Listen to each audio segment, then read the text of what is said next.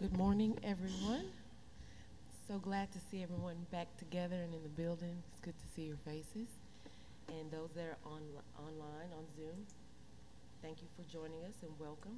Glad to have you as well.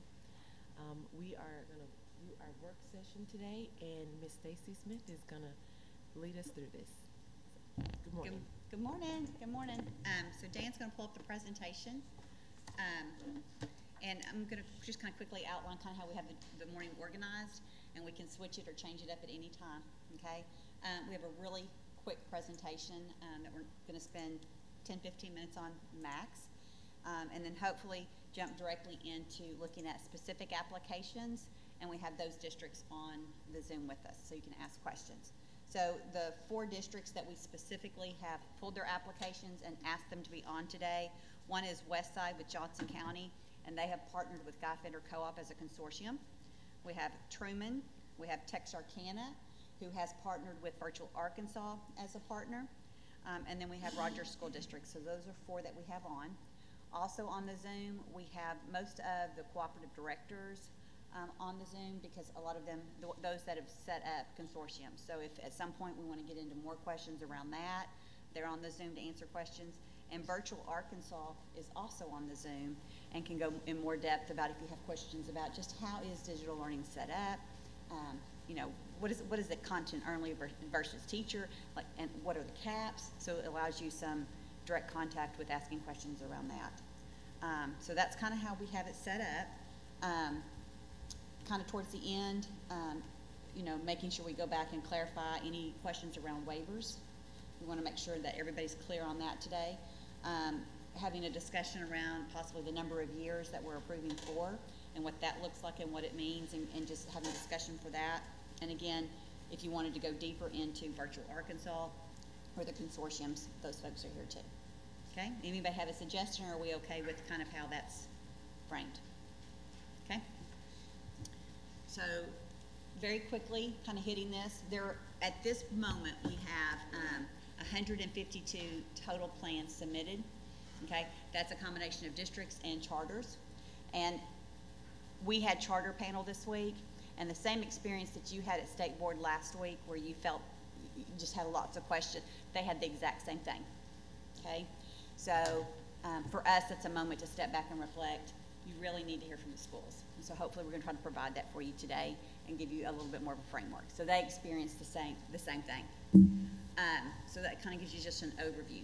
What I want you to know from the department, because these are 1240 waivers, in the past, we've worked with people on their 1240 waivers. They've come to the board, but we've really left the responsibility on the districts to explain to the board what it is they're asking for and what they're doing, okay? On this, with digital applications, the department has tried to put a process in place to ask all the possible questions that you might ask if we were bringing them forward. And we set the application up that way. Okay, so that's what's different about this time, is we tried to get and brainstorm all the different things that we thought needed to be known ahead of time. So that's the difference piece, all right, as far as the 1240s from past to present. Um, here are the list of cooperatives around the state that actually are having consortiums and working with their district Again, we've got Guy Fenter on today who will partner up with Westside when they talk about their school and their application. Um, and I believe Kathy Swan is on who can talk about the all the consortiums um, throughout the state at the end if you'd like her to. Virtual Arkansas usage, I know there was lots of questions around that. And again, Don will kind of tell a little bit about Virtual Arkansas and our partnership with them.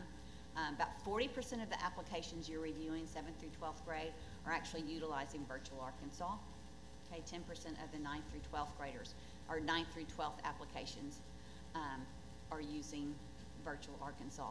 The reason why you see so more at the middle schools, Virtual Arkansas is one of the vendors who does provide content um, for middle school grades.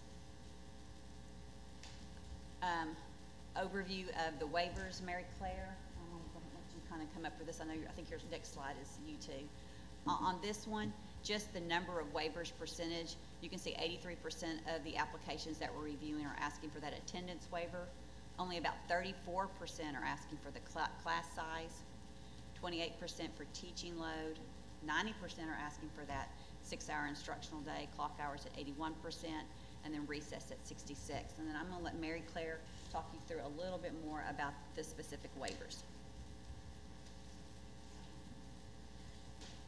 And on the class size and teaching load numbers here, these are actually a little bit higher than, um, the actual percentages, because as we went back through and we were preparing, there are some schools that had requested class size and teaching load when they didn't need them, and so we've shored that up on their end, so this is actually a little bit high. So, and, Dr.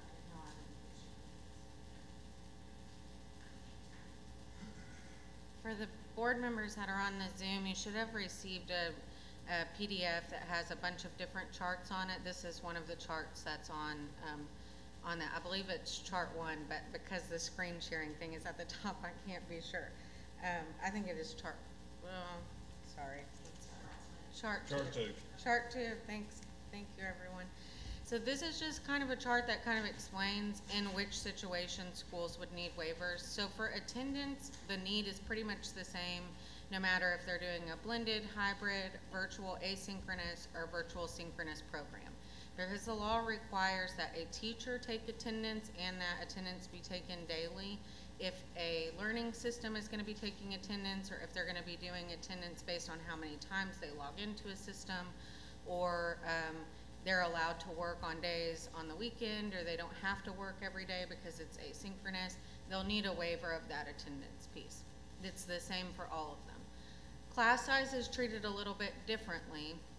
So for a blended or hybrid program, if it is talking about K four class size, they will always need a waiver if they're trying to go over class size. If we're talking about five through twelve, they will need a waiver if the courses are not hundred percent virtual. So if you have some kids in person and some kids virtually, you're gonna have to have a waiver to go over class size. If it's an in-person course in five through twelve, you would have to have a waiver to go over class size unless it is a large group instruction course, which is described on chart three. In the virtual, fully virtual programs, the class size waivers are pretty much the same. You still would need a waiver to go over K four class size, and class size does not apply to hundred percent virtual courses in five twelve.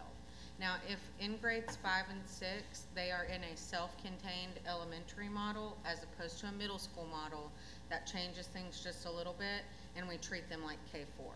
So grades five and six, it kind of depends on if they're a self-contained elementary or a middle school model. Um, on teaching load, um, if it is any type of blended or hybrid where a teacher is teaching in person and virtually, they will need a waiver of teaching load, um, unless it is a large group instruction course. Um, and again, on chart three, which we'll do here in a little while, we'll go through class size and teaching load and large group instruction and how all that plays together. Um, in the virtual options, if a teacher is teaching hundred percent virtually, no waiver is needed of teaching load. And I think this is a good time to clarify that a teacher can always agree to teach over hundred and fifty students per day. They just must receive additional compensation. So when we're talking about granting waivers for teaching load, we're just really talking about waiving the additional compensation. And some of the applications will see lay out a different way of compensating that's not hundred percent in line with law. Some are asking to waive compensation completely, but can always in every situation go over the limit. Hey, Mary Claire, I hate to interrupt you. We can't hear you on Zoom.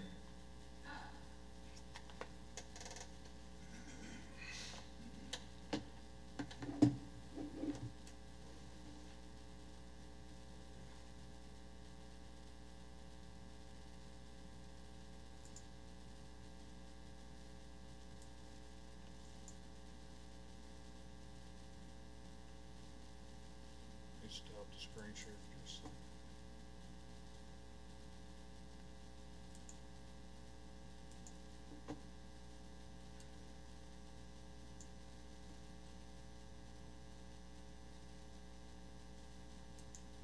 Test the microphone, please.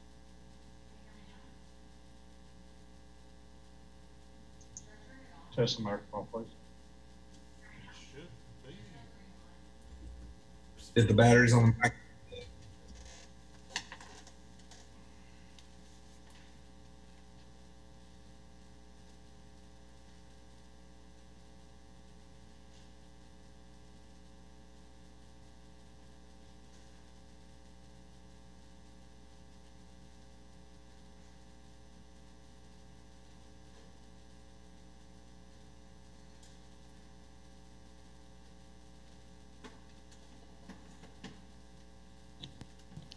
Testing.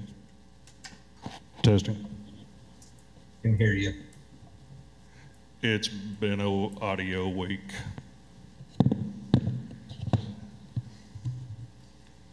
Can you hear Yeah, me you now? did. Yes. What part, did you not hear anything I said? No, no. I mean, for me, I think we lost you. You were still talking about. We were on um, teaching teaching load. It's Okay. kind of where the audio cut out. Perfect, we don't have to start from the beginning. I, these people in this room were gonna boo me off stage if I kept talking. Um, so in teaching load, um, if it is a virtual program, if the teacher is teaching hundred percent virtually, meaning they don't have any in-person students at all, no waiver of teaching load is needed because that's actually allowed. And on page four of the document that I sent out, I've put citations to the rules. And if you're in person, I printed out a copy of the rules also, and you have that, so you can see it. Um, if you're on the Zoom, you can find those on our website, or I'll send you a copy here in a minute. Um, so if the teacher is teaching both virtually and in person, a waiver would be necessary to allow them to go over 150 students without additional compensation. And again, those five and sixth grade students are treated differently depending on the model of those grades. Um, the six-hour instructional day, a waiver will always be necessary in a 100% virtual program because there's not usually a set instructional day because you have asynchronous pieces even if you're having synchronous pieces. Um, in clock hours, um, in both of the virtual pieces, if the high school courses are not meeting for 120 clock hours, which usually in a virtual setting they're not, they'll need a waiver to award credit for those courses. Um, and then lastly, recess, which only applies to elementary school. So we're talking about K4 and 5 and 6 if they're in a self-contained elementary model. Um, in a virtual setting, 100%, the waiver is necessary unless the school is requiring some sort of proof that the student has participated in those minutes of recess, which I think gets really tricky. Um, in a blended and hybrid model, it just depends on whether they're providing the 40 minutes of instructional time when the students are at school. So as we go through the four applications today, I'll get up and kind of talk a little bit about their waivers and why they're asking for them. And then at the end, we'll go through um, some of the other charts that I provided. But if you have questions on the charts as we're going, please feel free to ask.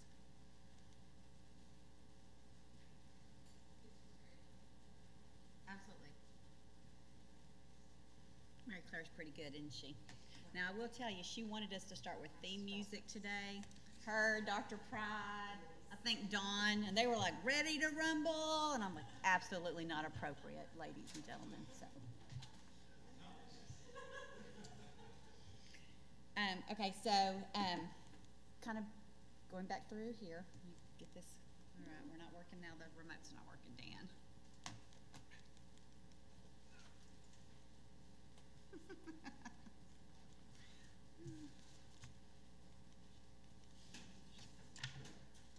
No, it's not the, it's this.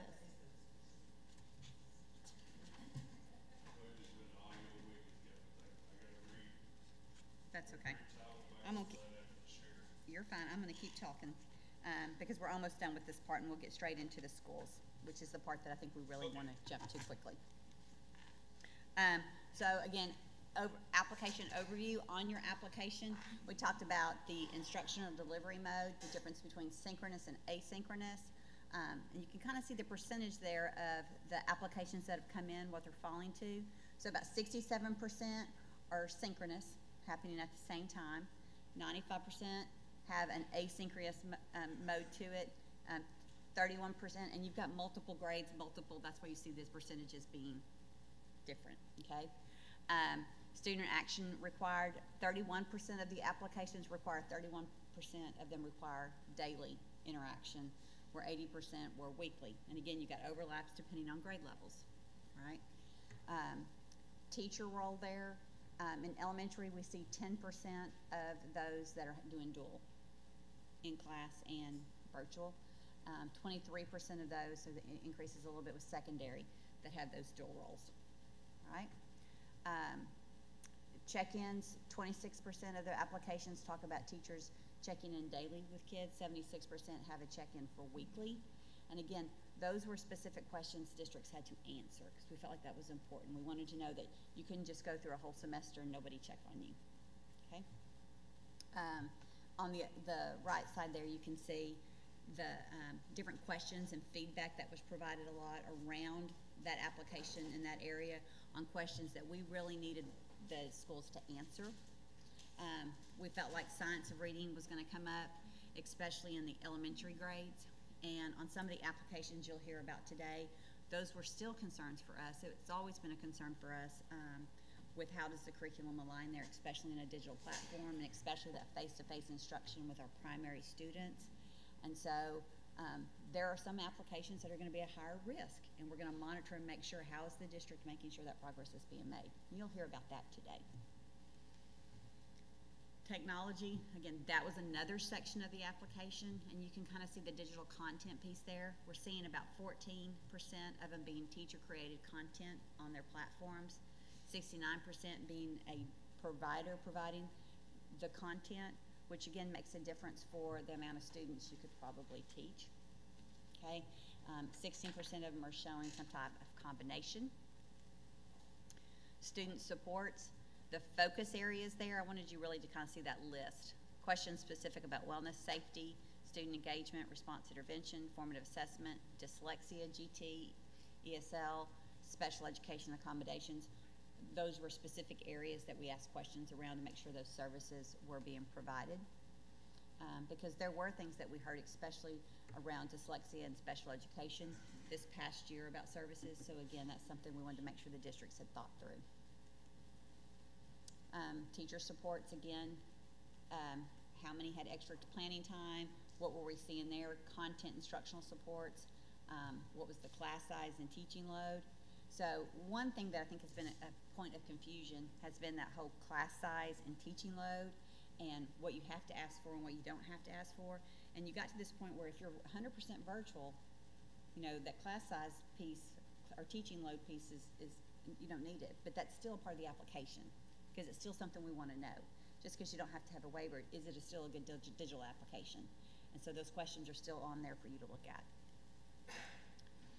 All right, so I'm gonna go ahead and move us to the school districts. I will say, every application, district application that's come through Tally, correct me if I'm wrong, um, no one has made it through on the first round.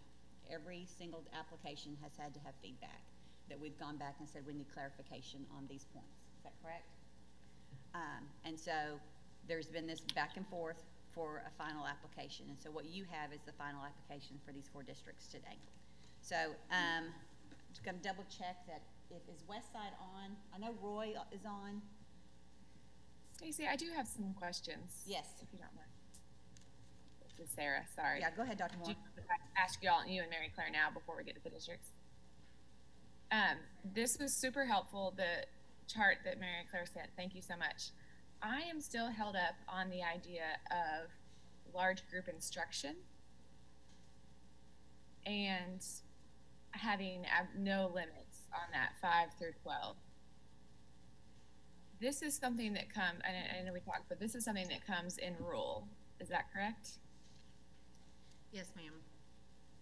Okay. And at the point in time this was put in rule, what was the discussion? What did that discussion look like? And what were the leading factors that lead us to believe that virtual teachers can have, you know, very large class sizes? So it's my understanding that large group instruction has existed in the standards for accreditation for quite some time. The class size and teaching load rules are newer because we, in 2018, when we revised the standards and did that big overhaul, we pulled them out into their own rule. But before that, large group instruction existed in the standards for accreditation as part of class size. And I believe that the reason was when you have teachers who are teaching courses that are necessarily going to be big, like choir, JROTC, advisory periods, um, performing arts courses, and virtual courses, um, that allowing them to have additional compensation for teaching over the one hundred and fifty, um, created an advantage to teaching those courses over teaching the core courses where you were going to have a class size that was smaller and not get to the one hundred and fifty. And of course, if I'm saying something that somebody, um, wants to jump in, please feel free. Um, but so if you have a teacher who's teaching twenty students a day for thirty students a day for a couple of periods, and then you have a band teacher who teaches band three times a day and their band class has hundred students in it, um, they would be getting additional compensation for hundred and fifty students for teaching three sections of band throughout the day. Um, where the intent of large group and, or additional pay for teaching load was really, you're going above and beyond what would already be required for, um, that particular course and class. And that makes sense absolutely for those courses. My I think I'm still just held up on the digital part of it. And what is our operating theory that digital teachers, virtual teachers can have that big class size when we're hearing that only 31% of districts have daily interaction? You know, you could have 300 because we're not requiring that daily interaction. I'm held up on that. Um, s- s- Since this is a workshop session, are you okay if I ask um, Kathy Swan or John Ashworth, um, who? Yeah, and it might be better to get to them. I think I just wanted to hear sort of Uh, well, background on yeah. uh, allowing virtual to be large group instruction. Right, so um, Kathy Swan, um, years ago, helped start Virtual Arkansas and Team Digital when it was really truly innovation. And one of the first states to kind of do that. And so I know that she's on, she might have some insight on virtual instruction and class size. And then John, actually, over the Virtual Arkansas, can speak directly to how many students their classes are. So do you want to do that now, or do you want to hear from the district? Or do you want to do that We at can the do end? districts, and then when we get to them, we can do it. Okay, That's fine. so is that okay with everybody? Okay, um, so Kathy and John, I'm gonna cue you up at the end to come back to that, so if you'll both be ready for that. Is West Side on? I know he was getting on. Okay, so we're gonna skip to Truman. I don't see him yet. He's supposed to be getting on right now. Okay, we're gonna go ahead and skip to Truman, the second application that you have. Sally, you wanna come up and talk about Truman?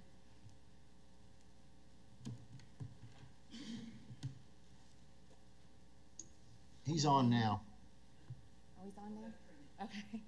Good morning. Uh, my name is Tally Hart. I'm with the Department of Ed, and I'm here to um, talk to you guys about Truman School District. They um, were actually the very first district to submit their application through Insights and went through several rounds of revisions from the various teams and the feedback that was shared with them.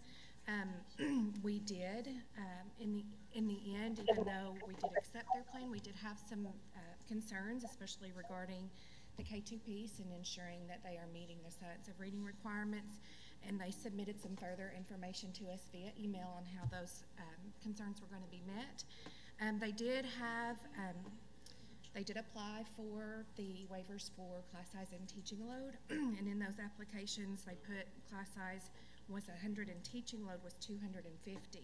Um, I'm going to ask Miss Mary Claire to come up and talk to you a little bit about um, how that works and what that looks like for their virtual program. And I know that Miss Brandy Williams, from the superintendent from the district, is also on to answer any questions you may have for her.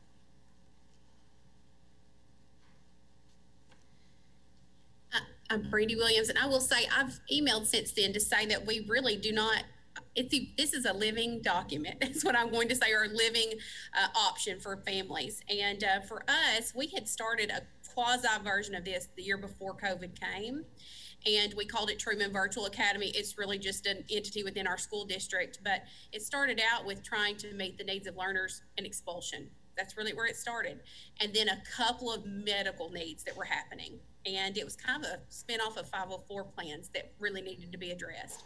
And so when COVID came, we had learned a lot of lessons. We had been using Lincoln Learning um, as a major part of that platform, but some virtual Arkansas and some blended type things. And so we really had learned a lot of lessons in a really small group of kids the year before. And so I'm going to say we had a pretty good plan going into COVID. We were thankful for those experiences. And one of the main pieces was that we assigned a liaison to every student that was a certified teacher, and they were checking on those students every day. And they were the ones who were meeting with parents and kids and looking at their grades and seeing what assessments they needed. And, uh, and that changed everything for us during COVID. And so at the height of COVID, we had hundreds of kids wanting to do virtual like every school probably. And, and then with that accountability piece though, parents started bringing kids back because we were checking on their grades and their instruction and their assignments and are you submitting those and all that stuff and we wanted them on site. We you know you had to take your star test you had to come take your interim test you know whatever it was going on.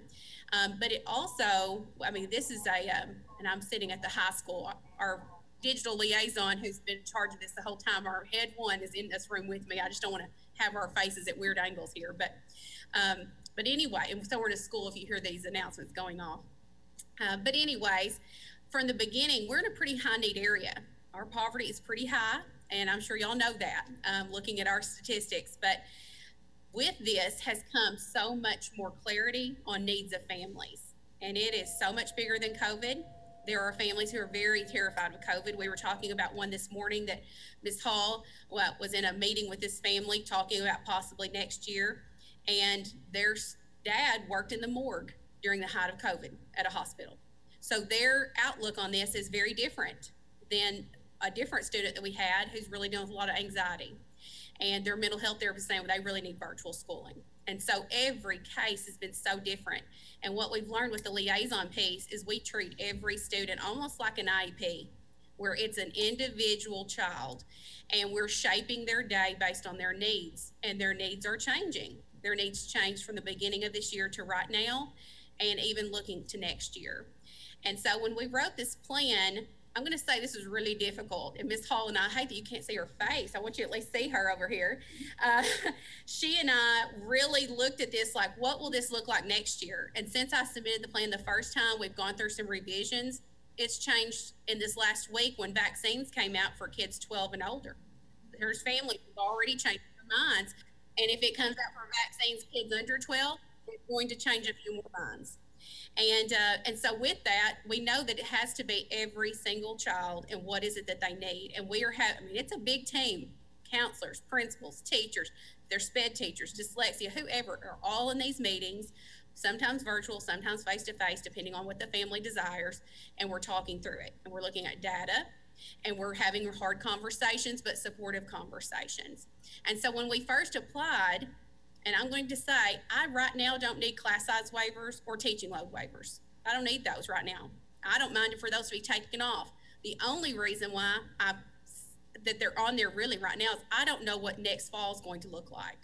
My fear is is that the flu season is going to come back and parents are immediately going to think it's COVID again and they're going to want a lot of virtual and I want to be prepared.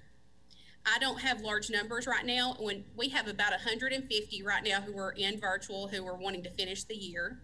And next year we have about 25 now. It was 100 two months ago. They're like, I really think we're going to want to do it. Now, as vaccines have come on, we've had more conversations. We pulled all the data again. Now they're like, they need to come back to school. You know, we're more comfortable with this. Vaccines are a big game changer. And so um, now we have a probably a solid 25 kids. That's not very many.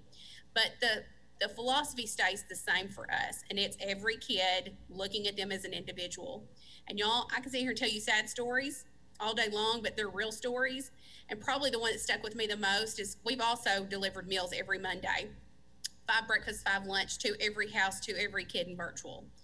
And so that's been a big undertaking, but we've done it. And uh, one day we went to a child's house who was struggling some, and their house was gone their literal house. They were living in a house trailer and it was repossessed the night before. The family was gone.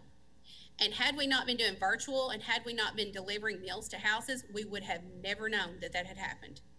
And so there have been some stories of kids who are high flyers and they're, you know, they're involved in JOTs and AAU basketball and they're working on their, you know, work in the evenings and that kind of thing. But those numbers are a lot smaller than those kids of high need.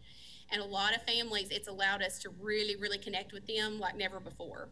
Um. Hall said, I have learned more this year.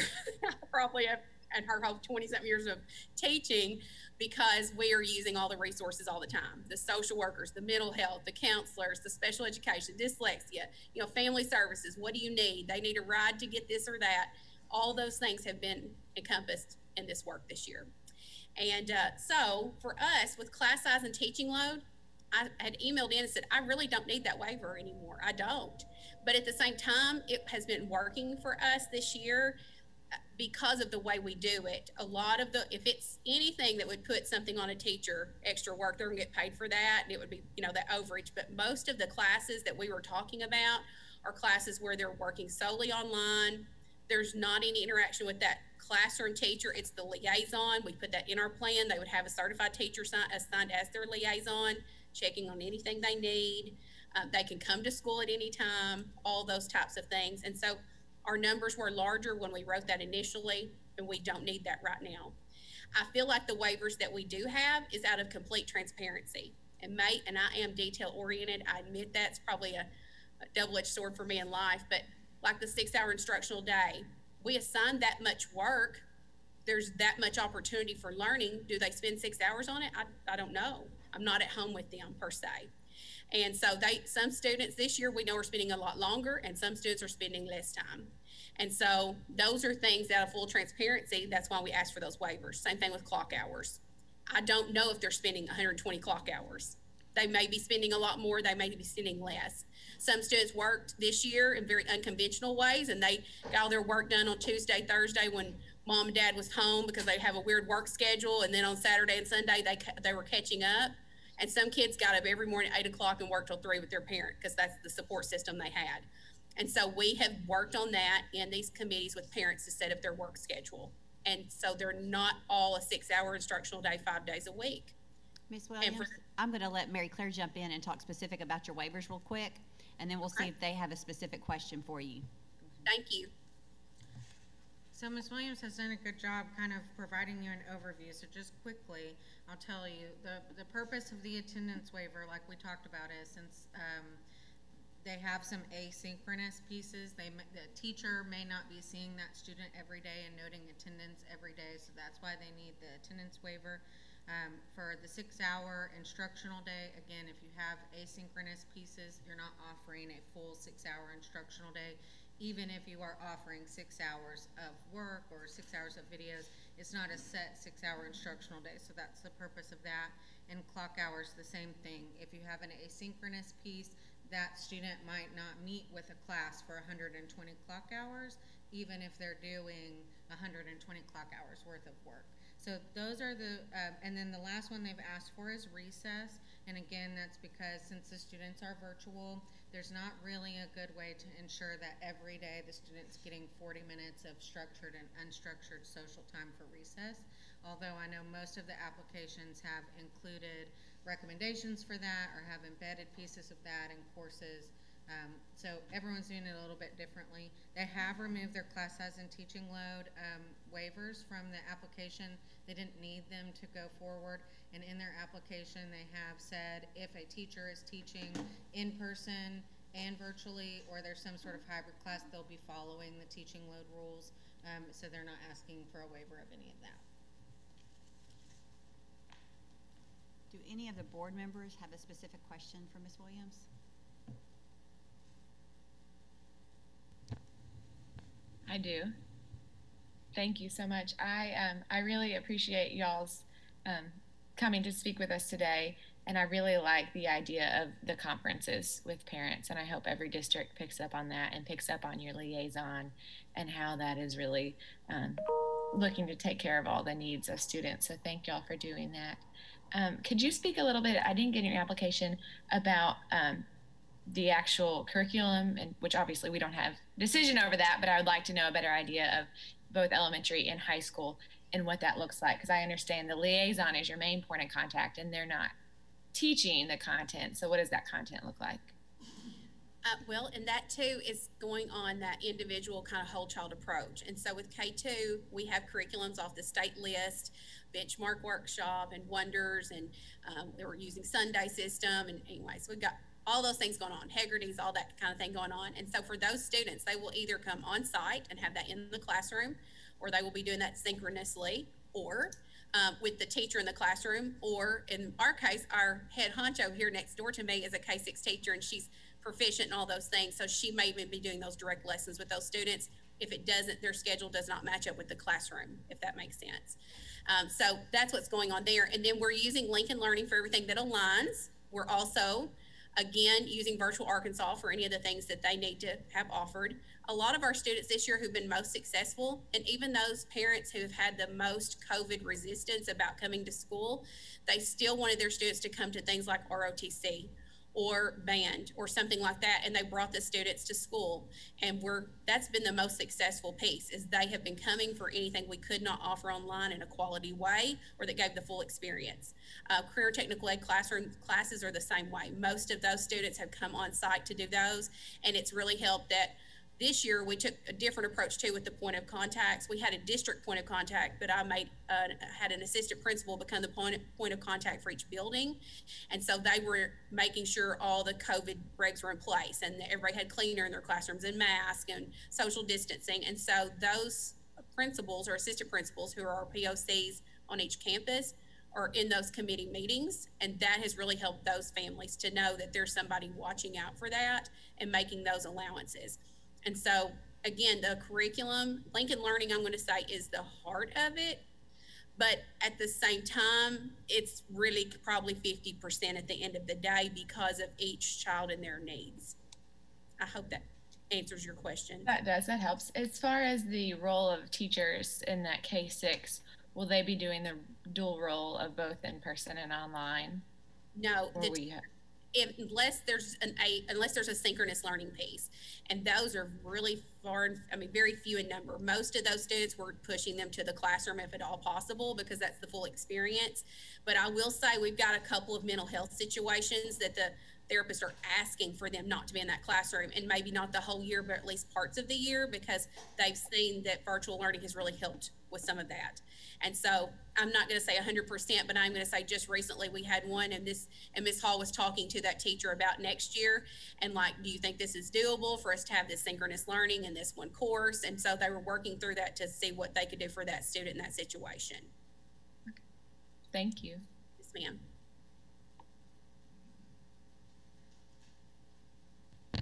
Ms. Williams, I just wanted to say that I, I also was very impressed with the committee um, having that as far as getting students in, and then also the li- li- li- liaison. Uh, those were two uh, parts of your piece that really stood out to me as being great. And, and I just want to make sure I understand, because this was my only question about your program, was the K2 as far as reading.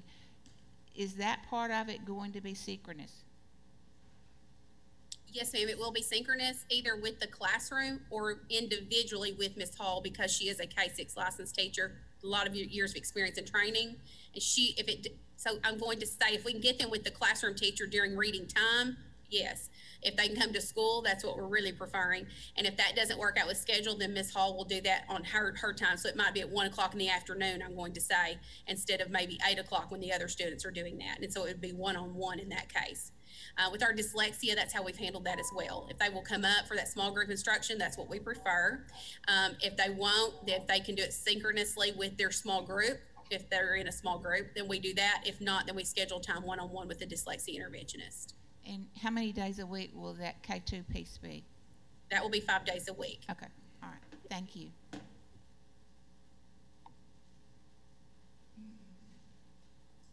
I have a uh, question. Are you screening your students before they go into your virtual program? Yes, ma'am. We are screening, but at the same time, I'm not going to say it's just a black and white, cut and dry situation. Uh, we are looking at all their STAR scores, their ACT Aspire scores this year, in which is, we have that privilege to say, how much were you online? How much did you engage? How much involvement did you have? Did you come up for, uh, because we've had some virtual days where they come up and meet and, you know, with parents and things like that. Did you attend those things? Were parents um, answering and responding to phone calls? So all of that is coming out in those committee meetings. And it's not a gotcha, it's a conversation. And that has made it very clear for parents. And so when they say, "Oh, I really want to do this," okay, well, let's look back at this year. You weren't logging in, or you know those types of things. And so that's made it where, oh, I see they're not going to let me do that this year. you know, they're they're going to hold me accountable. And so that has really just weeded itself out. But yes, when we come to the meetings, it's data driven, and that's in our screening, I guess you could call it. We're pulling all of that in advance to see if you're a good fit for this or not. And then how are you working with your parents to get them on board as far as being a, a coach at home? Uh, that has come through the liaisons, and I'm going to say that was the piece when we were doing this before COVID, that one year in our trial year, I guess I will say, that we saw made it was the game changer. It was 100% the game changer. And that was us all sitting in a room trying to figure out what we were going to do to deal with expulsion cases and a few, like I said, of these medically fragile students that I'm going to say is going through chemo repeatedly. We had just a handful of those situations. And we knew classroom teachers, they've got their hands full all day anyways. They do not have time to, you know, at two o'clock when mom's home, make that phone call. They might be in the middle of math or whatever. And so pulling that teacher out that was licensed, who had experience, had some, a lot of them are people have been in our district a while. They know families already. So we're not just putting anybody in that position. But we saw that that liaison was the game changer. They were the ones who could email, find that best form of communication the parent would respond to, whether it's through a reminder, you know, like I said, email, phone call, text, whatever it was. We do have one phone, a school cell phone that we purchased this year. We're not big school cell phone people here, uh, but we did, and that number now is the virtual phone number. So parents, some parents love to text, and they will text you all day long, but before they would not answer a phone call. And so it's really just, it goes back to individual child and family and that liaison being freed up all day long to do that work and, and our coordinator here. So, um, and Ms. Hall, like I said, she has just carried our torch this year and done a phenomenal job through the waves of this. But the, what, we talked about this at length, what we have learned about families and the families we have connected with this year is the biggest win, in my opinion, because it shows that when you really invest in people and you're, you know, you're there for them pretty much kind of day or night is the way it feels sometimes. But when you're there for them, that's when you start making differences for kids. And so it's kids that we just, in the past, we didn't know all this before. And through this process, that's what we've learned.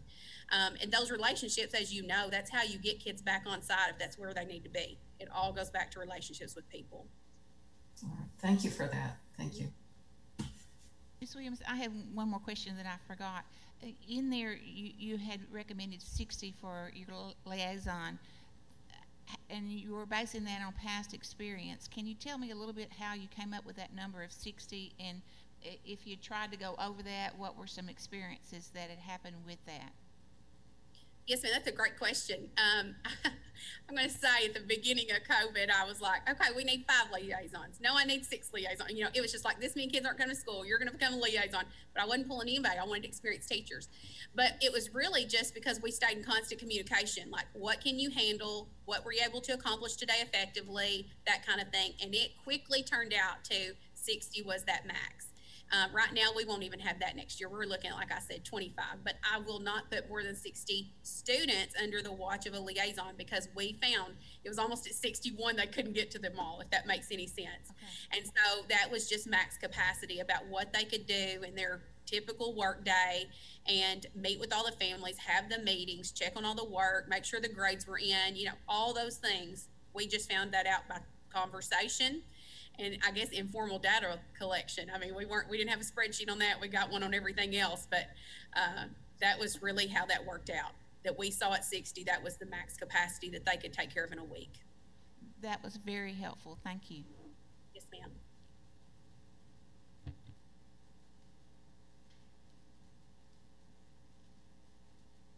Okay, if there's no other questions for Ms. Williams, then we'll move to another district. Is that okay?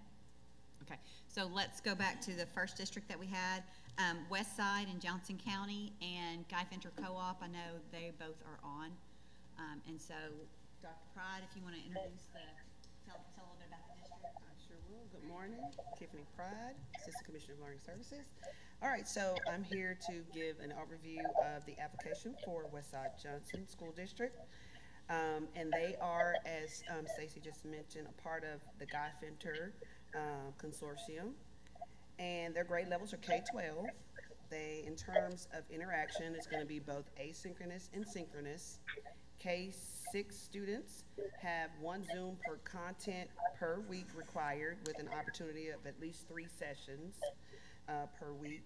And then grades 7 through 12, uh, one Zoom per week is required.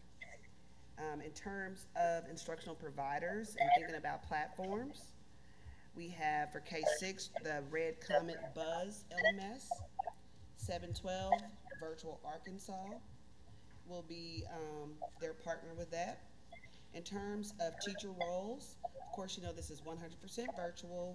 Um, K six, um, teachers will not have a dual role, they will just be strictly virtual or on-site. And those roles are defined in relationship with the consortium. Uh, they also have some provisions where their, uh, seven twelve teachers will have parapros to support, um, teachers in terms of, um, making contact and supporting them with, uh, some of those pieces that they have for monitoring. District supports, they do have a district point of, uh, contact between, to communicate between Guy Fenter and the school district. And of course, they can speak more about that, uh, if you have questions. Um, then teacher supports, there are numerous teacher supports from training to ongoing PD opportunities. Um, and um, support from content experts and um, tech support. They have that those provisions there. Also, they're going to monitor students in terms of surveys for parents, students, and also they're going to be monitoring um, points in data to ensure students are progressing from using ACT Aspire summative pieces to see where they're going to start. They're going to be looking at their grade progressions with grades and also district assessments. So they have formative assessments there as checkpoints. And um, also, um, in terms of waivers, we see they have three attendance, the six-hour day and clock hours. And I do want to note that this is one example where we um, still had some areas where we wanted to be sure to monitor, and we noted those with that district in terms of ensuring that K-2 students, um, that there is a close eye on those students learning to read because of the science of reading, and we know that those that K2 band is essential in terms of making sure that students master concepts for reading. So that's um, Westside Johnson, and we have Superintendent Bradley Kent on, as well as Mr. Roy Hester from Guy Fenter. Mary Claire's going to clarify.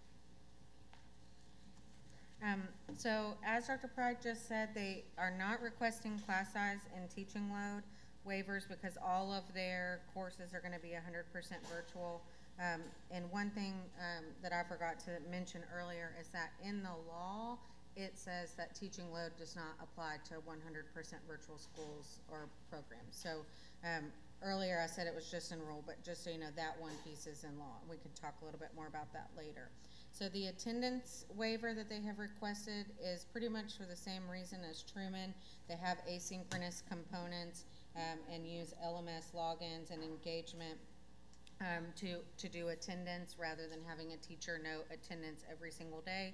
So that's why they have requested that waiver. Again, because they have asynchronous components and their synchronous components are not all day, every day, they have the waiver for the six hour instructional day and a waiver of high school units of credit um, for 120 clock hours. So they can give high school units of credit even if the course doesn't meet synchronously for 120 clock hours.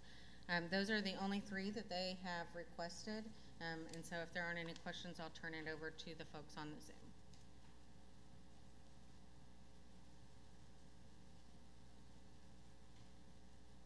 Mr. Kent, do you want to just kind of give an overview of the process at your district?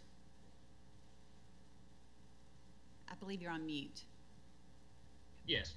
Now, um, sure I can. So, uh, in, in the process that we started, it, we went, uh, and, and to be honest, uh, I have quite a bit of new support in doing this, but I took the lead on, on writing this plan and, and, uh, started with the template, started with the waivers that I felt we were going to need. Um, Mr. Hester and Miss Miller from the co-op were, were very much involved in, in this and in helping us and a, a, lot of feedback from the department on it. Um, I revised this this multiple times uh, just based on feedback from them.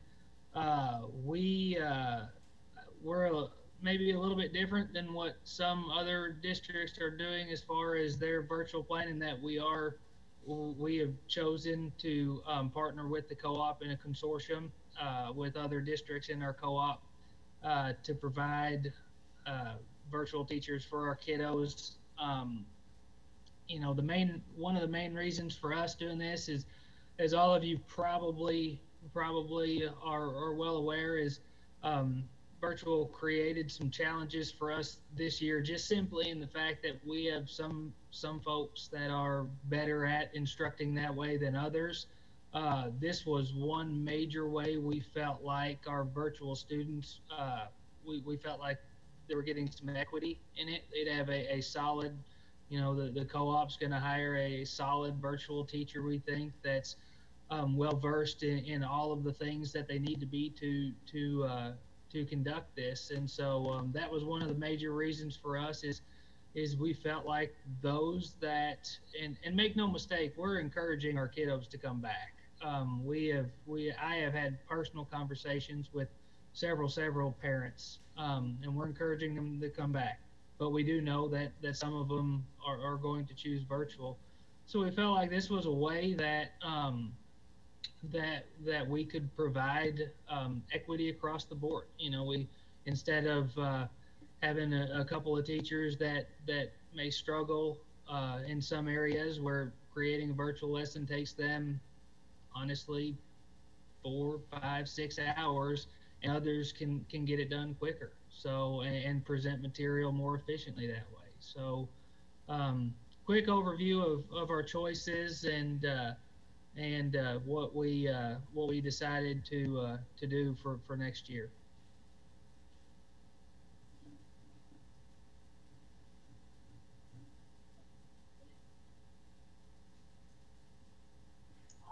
I'll just share a little bit about the co-op and why we why we decided to do a consortium for our for our schools. As uh, Mr. Kent alluded to, uh, our schools struggled a lot last year. And I know you all heard a lot of teachers struggled because a lot of the teachers were teaching both uh, virtually and face to face, and that put a lot of extra work on those uh, teachers. And we felt like we needed to do something to help alleviate some of that that work on those teachers. Uh, a lot of our schools are small.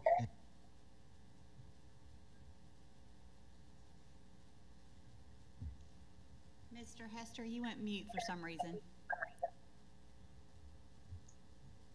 Can you hear me now? Yes. Sorry about that.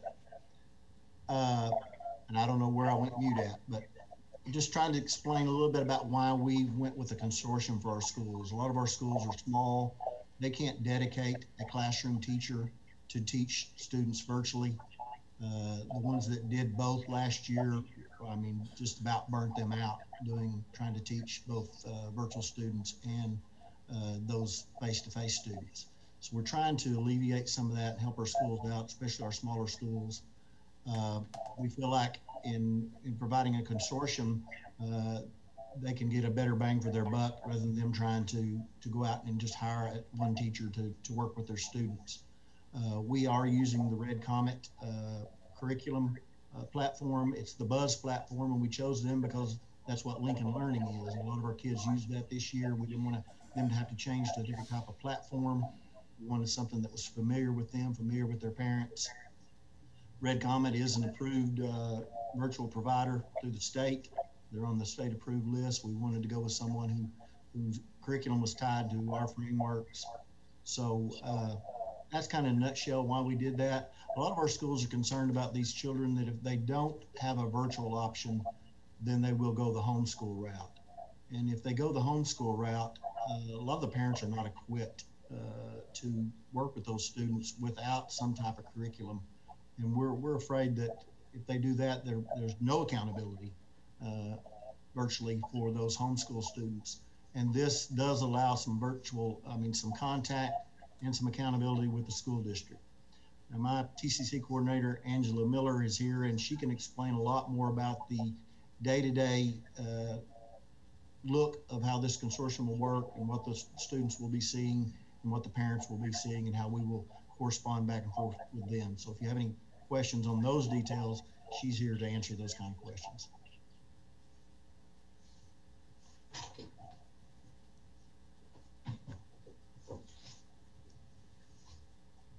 Um, I know that there um, probably has been some question about how are we going to ensure instruction for K-6 students with requiring one Zoom session per week. Um, they have the opportunity to attend three Zoom sessions per content area per week, but we are requiring um, at least one That, however, does not mean that is all of the contact that the teachers and students will have. We also plan to have small group instruction. They will meet in teams for group work or project work. Um, we have each teacher will have a paraprofessional that will also be able to go in and work with students and provide extra help or tutoring should it be necessary. Uh, the requirement for our teachers is that they make communication with the student every day, whether it is synch- whether they're learning synchronous or asynchronous. So either the para and or the teacher will make contact daily, uh, or I mean a minimum of one of them. And also our virtual coordinator will also make contact once a week with the parents and the child and to discuss progress, weekly reports, and those that same information will go to the school district point of connection as well. Um, I believe the other question that Dr. Pride mentioned uh, concerning K2 and the science of reading, um, we know that is a very large concern. Um, because you know we have a huge state initiative with it as well and doing that virtually is not going to be easy um, we have addressed programs that we will use for each of the uh, components required for science of reading we plan to use the Heggerty program to look at phonological awareness and we're also going to use the Fundations program to address uh, other components our literacy specialists at the co-op are going to be um, on hand. I have four of them to work with the teachers at all times um, to make sure that the science of reading is being implemented through instruction. Um, and actually, our teachers and coordinators that have been hired to oversee the virtual instruction are already enrolled in the Fundations training this summer, and they've all been RISE trained as well. So um, we're thinking that um, with support from the specialists who train anyway, that we should be able to work really well with the K2 students on the science of reading components. And um, it may require lots of meeting individually with students, but we're prepared to do that to make sure that they get what they need.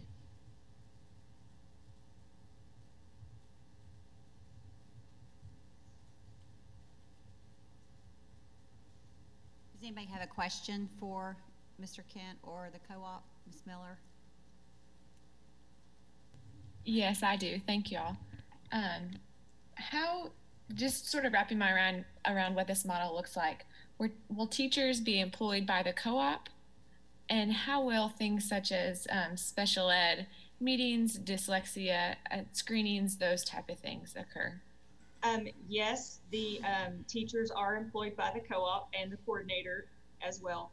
Um, and for things like special education, um, dyslexia intervention, that will come from the school district. We will work closely with the special education teachers that the students are familiar with on site, as well as the dyslexia interventionists to schedule them a time to either meet with their small group uh, or when they're on-site small group meets, they would meet with them as well, or it may be individual if that's what's needed. Uh, but there will be lots of communication with the point of connection and the district administrators to make sure that the services are still met for each student. Okay. Thank you. I think you preemptively answered a lot of my questions, but I want to touch base. Uh, class size for the K3? I know they'll have a para. Does that mean they'll be larger? Um, not necessarily. Um, at this point, we have had the districts that are participating through the co-op consortium to give us kind of a ballpark number of, of spots that their district would like. Um, and so, you know, the spots we have for K3, I believe we have 115 spots reserved, but we don't really anticipate having 115 students in those spots. Okay. So at most, it would be 115 for a teacher and a para okay. in that grade band.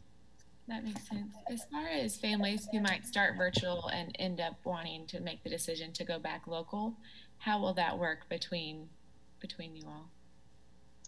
Um, well, it will require lots of communication between the school district and the co-op.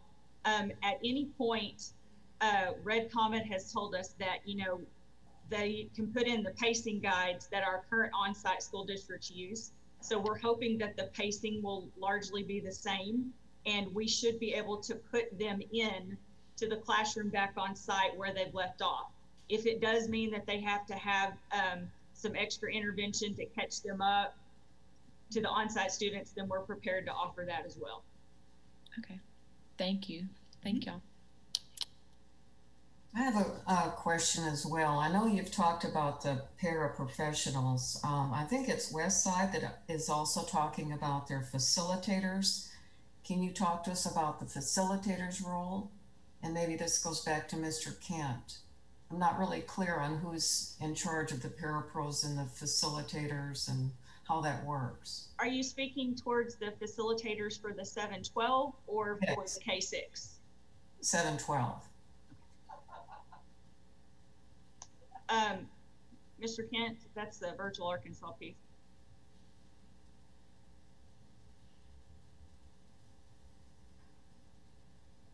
You're muted.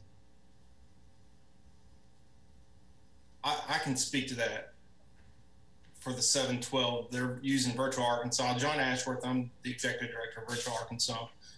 Uh, so every school that utilizes Virtual Arkansas is required to have uh, a local facilitator. It's a very important piece. It's a necessary piece. So not only do we have the eyes of the teacher on the student, we have the eyes of the facilitator on the teacher. They're they're the um, the local eyes and ears uh, that is our point of contact. So every school district is required to have a local facilitator. Okay, thank you. How many uh, schools are in this consortium? You've got a fairly large uh, co-op area. Uh, currently, we have 12 districts that are participating in this virtual consortium. Okay.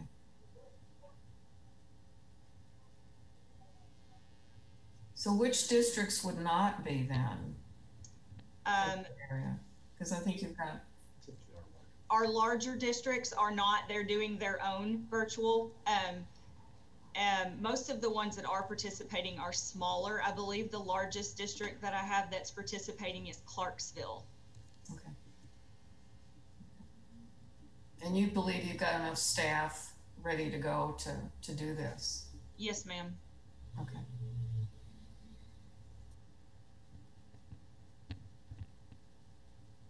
Ms. Miller, I have several questions about um, how the co-op is planning on, on doing this. Are, in the K, let's say K two, three, uh, lower primary, what are what are you um, thinking as far as number of teachers? Uh, well, we have one teacher and one paraprofessional for the K2 grade band.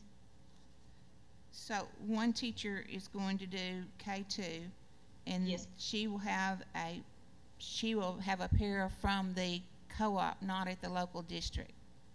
That's correct. In addition to the special ed, dyslexia intervention, or other special services from the school district. Okay, so, so, so she's going to do three Zooms a week with K one, two, and 3 And then, uh, are, are those going to be, um, teaching Zooms where she would maybe be teaching science of reading, or are those gonna be check-in Zooms?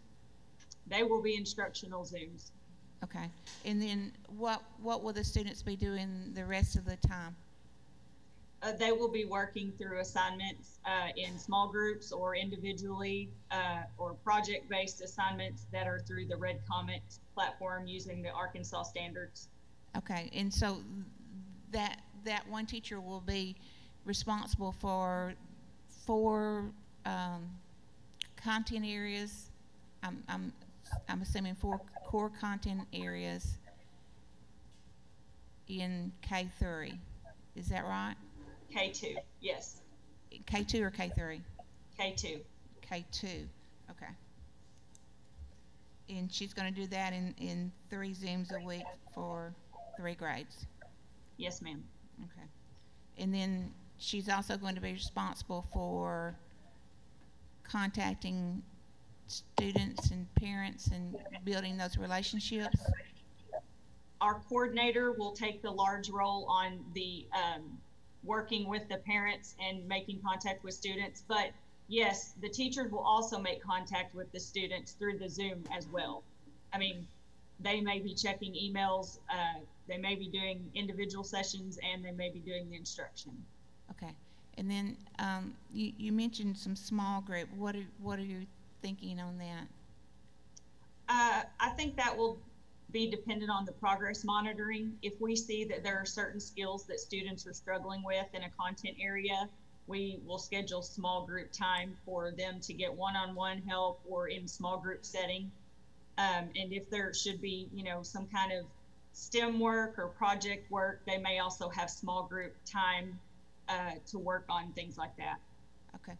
So you were looking at around 115 students, you said K, K2, is that what you said? Yes. All right, and then what about 3-6? Um, I believe three six was right around hundred students. And how many teachers are you looking at there? We have one teacher for K for three six and a paraprofessional. Is that a full-time para? Yes, ma'am. Okay. All right. I, you know, I just have hearing from from the um, the district before, and and they were having their their uh, teachers do a lot of synchronous during the week, but then in addition to that, they were going to have a liaison with a maximum of 60, and they were kind of going on past experience. So, you know, I, I'm a little concerned about the the load that this teacher is going to have, you know, teaching content for three different grades in all subject areas and also trying to build relationships with parents and students and keeping track of where they're at. You know, um, I'm just uh, telling you that I, I have some concerns there, especially in K2, where we're thinking that these first years, these formative years, are so vital for students to be able to develop those foundations for good reading that's going to follow them not just through high school but through life all, all the way through. And so so that is a little bit concerning to me about this this co-op plan. Um, well, I mean, yes, I can see that it, it is a larger load to ask a teacher to do, but that is where, you know, where they were calling their person a liaison, ours is called the coordinator. Um, in a lot, and she will have a lot of the same role, but our content specialists in science, math, and literacy and gifted and talented, they're all prepared to step in and help with the role should it be needed. Um, so we do have plans, you know, if we see that, you know, it's not working to progress monitor as well as we think we should, or um, we're having trouble keeping up with just the number versus the teacher, I mean, we're going to do what's right for kids, and we would either take on additional staff or we would utilize our content specialists more. okay all right thank you Mhm. Can you talk to us about your dys- dyslexia screening? And Uh, who yes. The, uh, the school districts will do the dyslexia screening. Um, however, if there is someone, a student that's referred that's not on the normal, uh, I believe it's the second grade screener, then we would make arrangements for the student to either be screened on site by the dyslexia intervention in the district, interventionist in the district, or else, uh, we also have a co-op uh, interventionist that could screen if necessary. So we're going to make arrangements, whether it's going to their house to do it, if it needs to be done, or bringing them on site to have the screening done, then we will make arrangements with the district for that. Thank you. Mhm. Okay,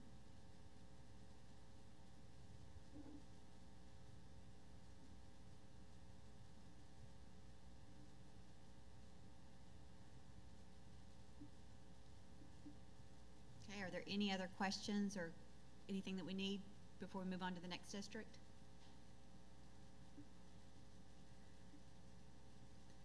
Thank you guys for being on. Um, the next, the third district that we're going to talk about today is Texarkana. Dawn, you want to come on up, and Mary Claire. Um, Texarkana has partnered with Virtual Arkansas. Um, and I'm going to let Dawn and Mary Claire go over their waivers and just a quick overview. Good morning. Don Benton, Research and Technology. So I, do, I believe Becky Kesler is online, or a representative from Texarkana Schools is online, and hopefully she'll chime in in just a moment. Just a brief overview, and I'll let the experts speak about this. Um, and also, I want to point out that we are fortunate to have Kathy Swan and John Ashworth and Kirsten Wilson online as well. John, as he said earlier, is the, the executive director for Virtual Arkansas. Kathy is like the founder and one of those people who started the whole virtual movement in Arkansas, digital learning movement in Arkansas. So it's great to have her on here with her expertise.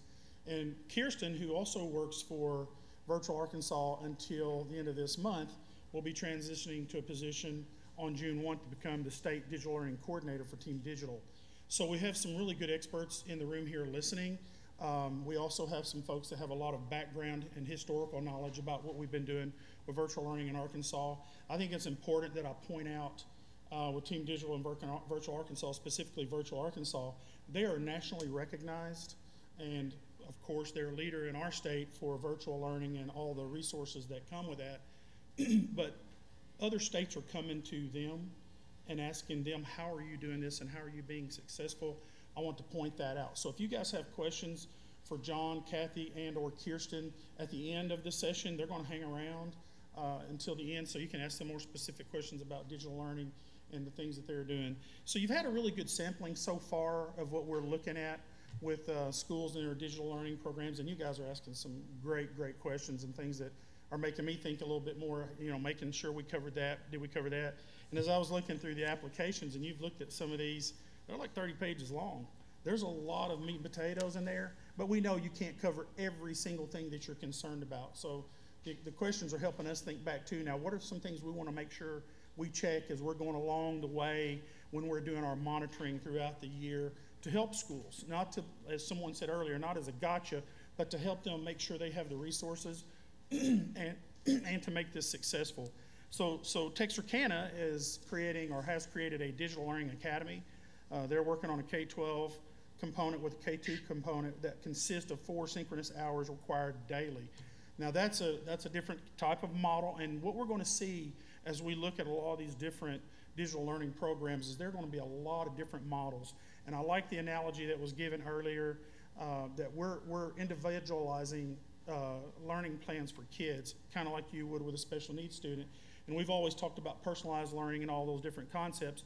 Well, digital learning, that's no different. We're making sure that we're, we're building um, a, a, an, an, educational pathway for kids for, for them individually. Virtual learning, digital learning as we call it, is just another pathway for a lot of these kids. I think one of the concerns too is that we, we, we still keep falling back on what happened last year during our learning year. Um, and, and let's try to remember that as we're moving forward, there are a lot of lessons learned. And, and I think our schools and our experts out there are doing a terrific job of covering some of those concerns for you guys. Uh, Texarkana is also looking at synchronous and asynchronous methods. As you get older and as kids can be a little bit more independent learners, there's also that opportunity for them to learn more synchronously or asynchronously.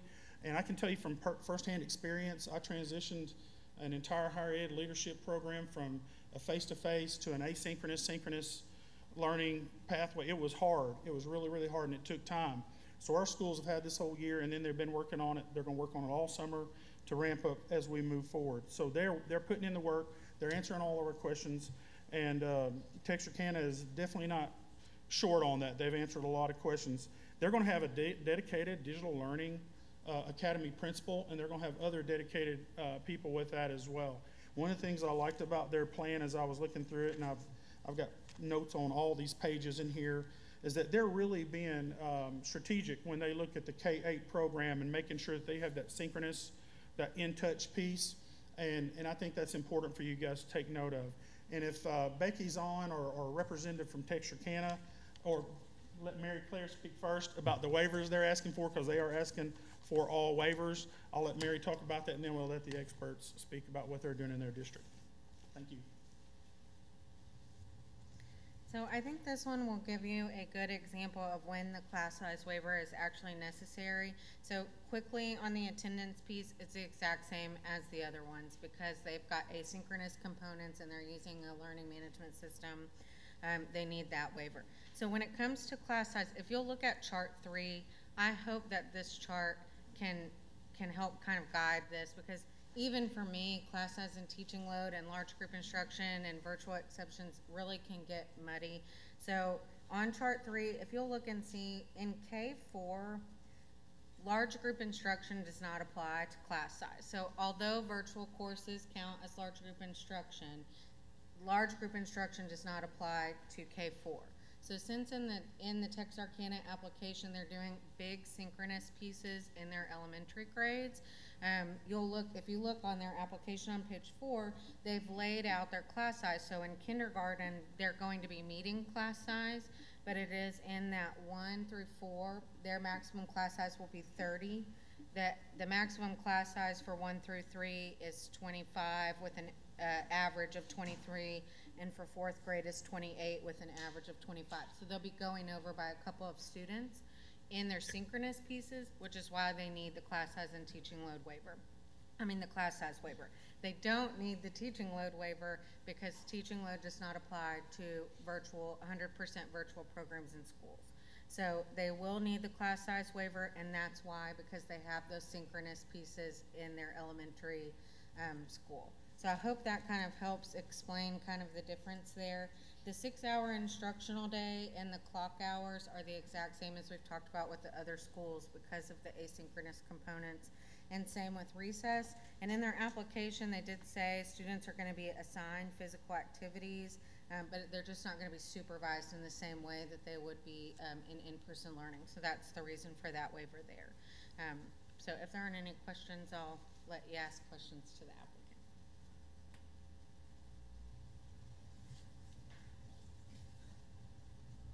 Texarkana, if you'd like to go ahead and just give just a little quick overview of your program, and then they can ask you questions.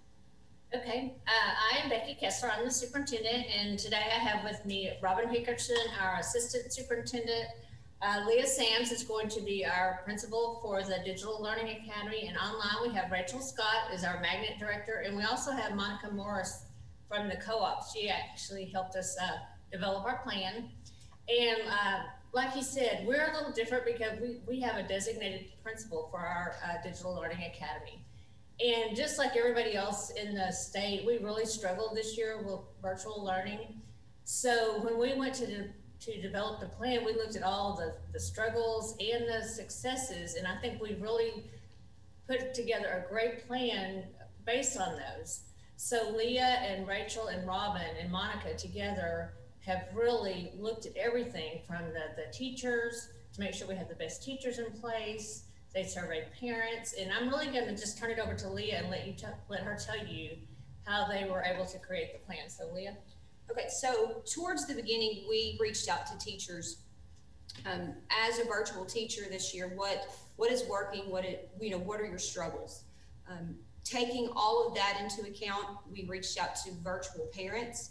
Um, as a parent, how are you seeing your child successful? What are the struggles for you as a parent? And oftentimes we're talking about the students with virtual learning.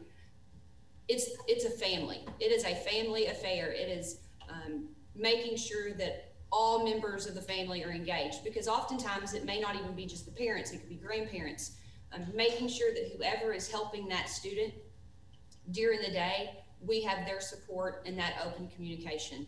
Um, we, we know that um, making sure that students are accountable, um, we, you've had some lack of engagement, um, but we've looked at what is working in our district.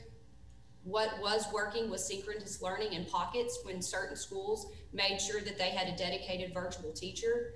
That the great success. Um, we have two kindergarten classes. If you look at their data, it compares to any other kindergarten class and both of those teachers have synchronous learning.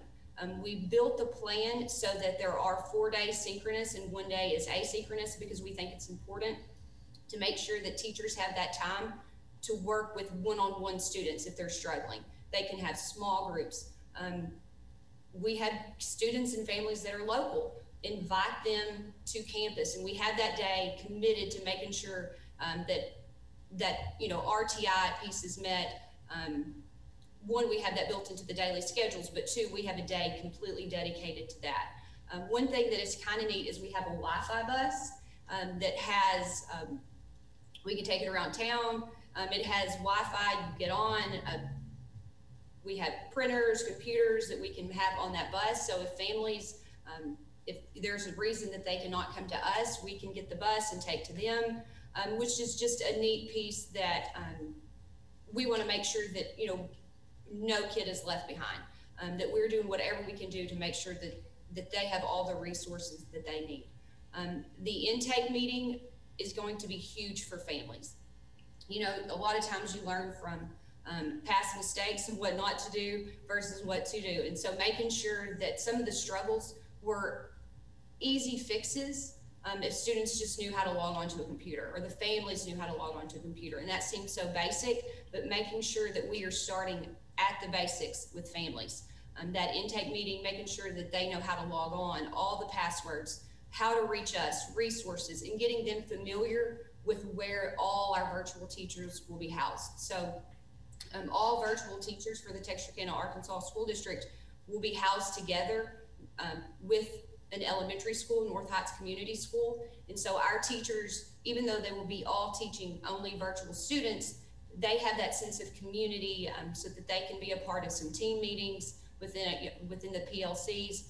Um, and then, but we want parents familiar and comfortable with our location. We feel like if they understand how to reach everyone, that they are going to be more willing to reach out.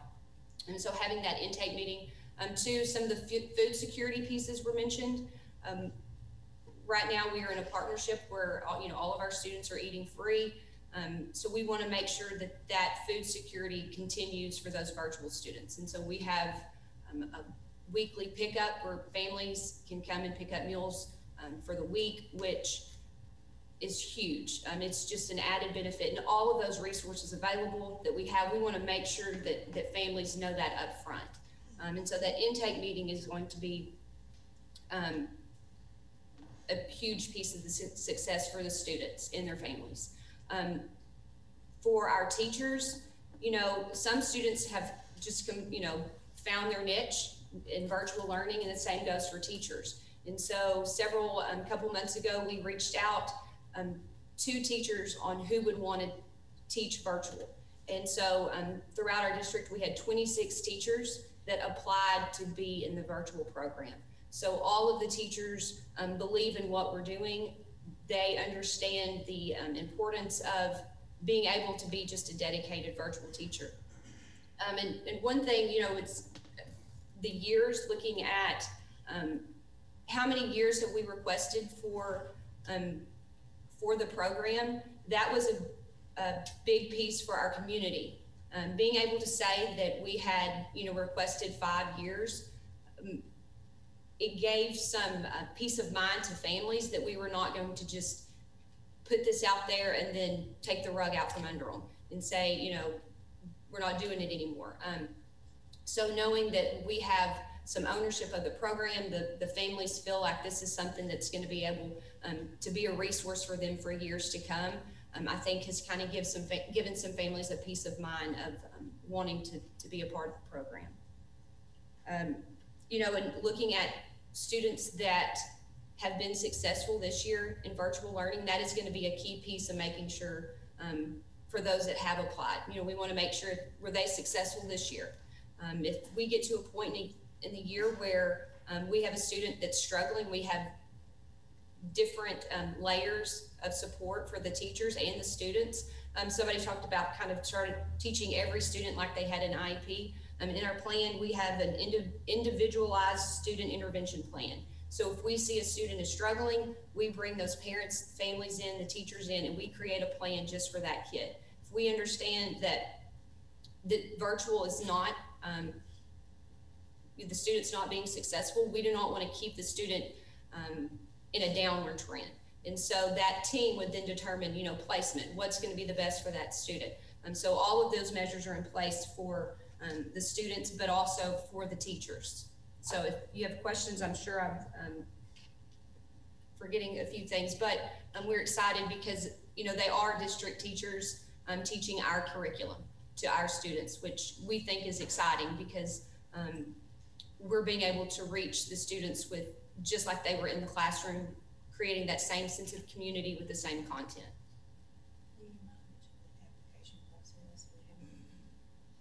How many teacher? How many kids? Um, yeah, so for our teachers, we had 26 teachers um, have, that have applied to be a part of the program.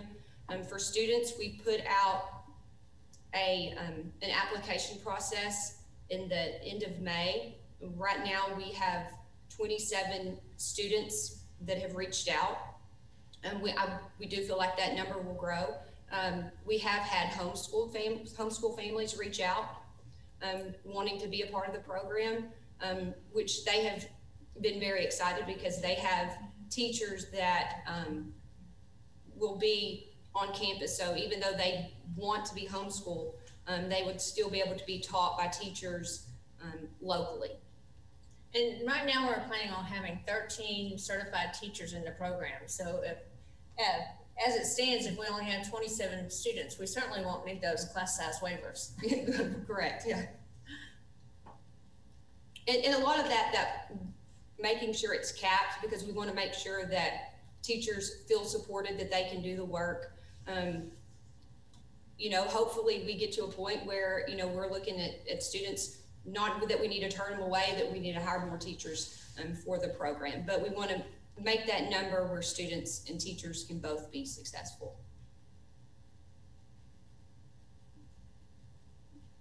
Do any, does anyone have a question for Dr. Kesler, her group, or her team? I do. I just want to uh, commend you on all of your your work that you've done on this. I I think what I what I'm seeing here is very impressive, and the the dedicated principal, the dedicated Learning Academy, Digital Learning Academy. I also wanted to ask if you would just speak a little more to your live sessions. Uh, that was, I think, four four times a week or on four different days a week. I know some of the challenges with that involve scheduling as well as bandwidth, the technology, and the connectivity for students, equipment at home to be able to support those live sessions. How have you addressed some of that, and have you seen uh, the payoff on that? I would think that you would. I, I know live sessions can have a tremendous impact on building community and relationships and engagement. So I just wanted to see if you'd speak a little more to that. Yes, so the, the model came from uh, one of our elementaries that is currently teaching four days a week synchronously. Um, and they start in the morning like a regular school day. They have a morning meeting. Um, they're self contained teachers, so they are teaching all content areas. Um, they will have a reading for 45 minutes. They will have some independent work, and the teachers, and they, they'll be using Zoom, um, could then bring small groups in and so some students can work individually, the teacher can work with some of those small groups. Um, they have a break, they go to math. Um, and so their deck, same sort of thing. They have 45 minutes, 40, you know, some of the minutes, um, or, you know, we're still trying to make sure that, that we have the best schedule in place. Um, and, and, we know through the solution tree process and PLC process that master schedule is huge. Um, and so making sure that we, we have that master schedule perfectly. But so so minutes, you know, I'm, I'm speaking vaguely. Um, so there would be a break, and the same thing goes for all the subjects. And that's how the day would work. So it would be like a student in a classroom with their teacher. Um, that would be four days a week, and we they would be using Zoom. And the technology, the students will have the computers that actually have the internet already built into them, and every student will have exactly the same type of uh, device. So the internet will be furnished for them. Yeah, so the, the Chromebooks have the built-in, yeah, Kajeet have the built-in internet.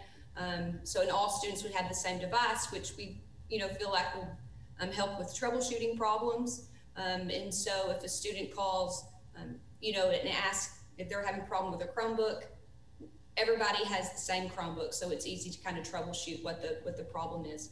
But so, and all of the Chromebooks will have the built-in um, internet, so they they have that provided for them. Yes, so we already have those. And I'm the teacher that she's referencing is she's incredible to watch. And she's one of the teachers that will be teaching in the Digital Learning Academy. And when we went into this, we said we want to, if we're going to do this, we're going to do it right. We want to have a model program that we could like, you know, anyone would want to come and watch what what we're doing. It's like those kids are there. It's just like they're, they're, if she's singing a song it's kindergarten, all the kids are singing on the screen and they're all interacting. It's just like they're in the classroom, but they're at home. And you know, if they're not participating, she's it's just like they're in the classroom. It's it's incredible to watch this teacher. And everybody in this program, like Leah said, she interviewed the teachers, they had to apply. If they're not passionate about digital learning, they're not gonna be part of the digital academy. So I think that we, we've really hit on something that's, that's gonna be, you know, absolutely amazing. Yeah, making sure that students feel that sense of community.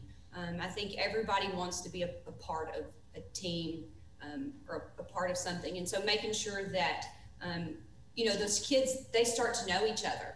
Um, and it, you know, it's talking with teachers how, you know, at the beginning of the year, at the first of the Zoom, um, you know, nobody said a word. Um, and we're now, you know, these students who have met virtually every day, four days a week for the school year, um, they know each other, they are friends. And so making sure that they are a part of that community. Um, you know, the students will still continue to be assigned to their home campus. And so if, um, you know, their school's having a dress up day, we want to make sure that they feel like they can dress up. Um, and then us, all the virtual teachers being housed on an elementary campus, um, that's another kind of piece of that community. Um, you know, we want them to be able to feel comfortable to come on campus. Um, when you get into, you know, the junior high, those students can still be a part of athletics, can be part of um, the music programs. And so making sure that um, they know that they are Texarkana Arkansas School District students, I think is very important um, to all of us. Dr. Kesler, this is Johnny. I've got a question. I think you mentioned something about uh, the homeschool students or homeschool families reaching out to you. Are yes. those were those uh, within your district, or were you having any contact you from outside your district? We actually had two that, uh, for the first time ever, we had two school choice applications come in uh, that were coming from outside the district. Okay, with that the homeschool families, those were from from inside your district. Yeah, uh, the homeschool, the, yeah, the ones you're talking about, They're, they're from out. from outside the district. Okay, thank you. Lo- local, um, but Attending other other districts. districts. They were, they, attending they had other been districts, attending other yeah. districts. Okay. The home. They would, their homeschool would, I mean, their, their school that they would have attended was outside the district, correct? But they were homeschooling. Does that make any sense? Great, thank you for the clarification. Dr. Kesler, I just wanted to compliment you on, on this program. To me, this was one of the most impressive ones and well thought out that we saw. I, I uh, like the the um, making sure that, and, and you said it very well, making sure numbers where both students and teachers could be successful. And so this was very impressive. Uh, I, I really like it. The only thing that, that you said this morning that concerned me at all was you said that you had 27 students apply so far in 13 teachers planned. Um, financially, how are you going to be able to keep going if those numbers continue? Well, we are actually in the process of changing over several schools. We just built a new school. And so we know those numbers are probably going to continue to go up because we are consolidating some schools. Um, and so we, we expect those numbers to, to continue to, to rise. But we, we are actually overstaffed at this point, And so um, we are going to have some additional teachers. So we're just going to have to, you know, through attrition, we're going to have to absorb some of those uh, teachers. But, um, you know, we're just going to have to work through it right now. Okay. So, Yes, and um, I, I work in HR, so I can elaborate on that a little bit. Our population is very fluid right now because we do have students applying to attend our new elementary schools. Um, and as our student population shifts, our staff will shift along with them. So we have what we call holes, you know, in some of our buildings. And if those students don't gravitate toward this digital learning academy, they may be assigned, for example, to a second grade spot in our um, community school or a third grade spot in our harmony school. Um, right now, we are just in a, a time in which our students are, are moving around and our staff, the adults, will shift according to our student numbers as we move into the fall. Well, and also, I mean, we haven't aggressively recruited. I mean, we, we put uh, the application transfer in um, because, again, we had several, a couple two new schools. Um, but, you know, waiting on approval. I think that, you know, once, I mean, it's approved before the board, that, um, the promotion and the recruitment will, um, definitely, um, get stronger. Okay, all right. Well, I just wanted you to know how impressed that I was with your application, and uh, I'm anxious to see results in the future. Well, they worked, they worked very hard on it. I cannot take any credit for it. I have a great team and they worked very hard on it.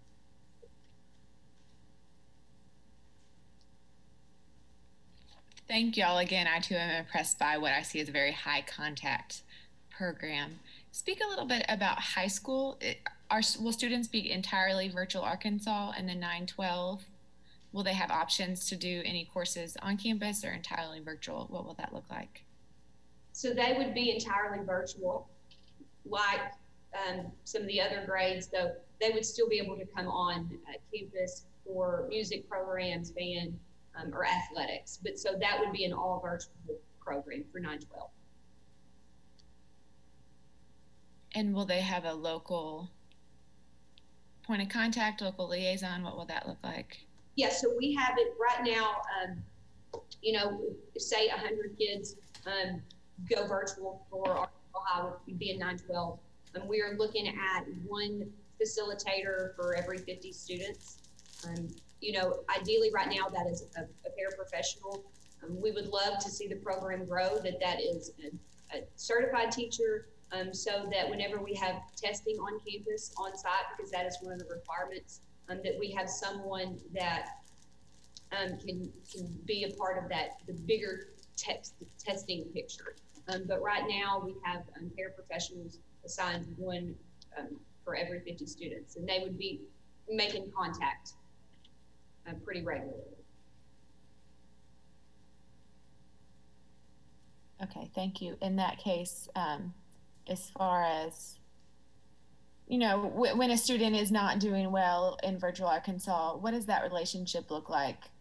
Will Virtual Arkansas will communicate with that facilitator on there, communicate with the school if there's an event where a student is really struggling and maybe needs to be in person or at least have that conversation. Will that be? Yeah, so I mean, it would it would be the same thing with that individualized team. Um, bringing the facilitator, the principal, I would be there. Um, the parents of the, the student that's in virtual Arkansas and making sure that we, that student has everything they need to be successful. Um, since we do have a location that they could come to, um, and they there would be supports there, um, making sure that they you know have the tools, what it is, what's keeping them from being successful, um, and then and putting those things in place for them. But so every student would have that that kind of individualized plan.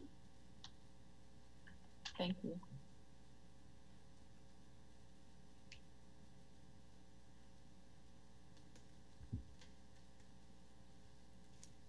Okay, um, so does anybody have any other follow-up questions for that district? All right, so are we ready to go to the last district? Everybody okay? All right, so the last district is Rogers, and that's Carly to come up, and Mary Claire again to give an overview about Rogers.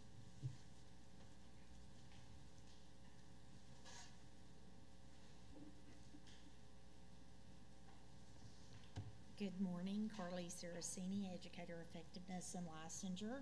And today I'm going to do the brief overview of Rogers School District.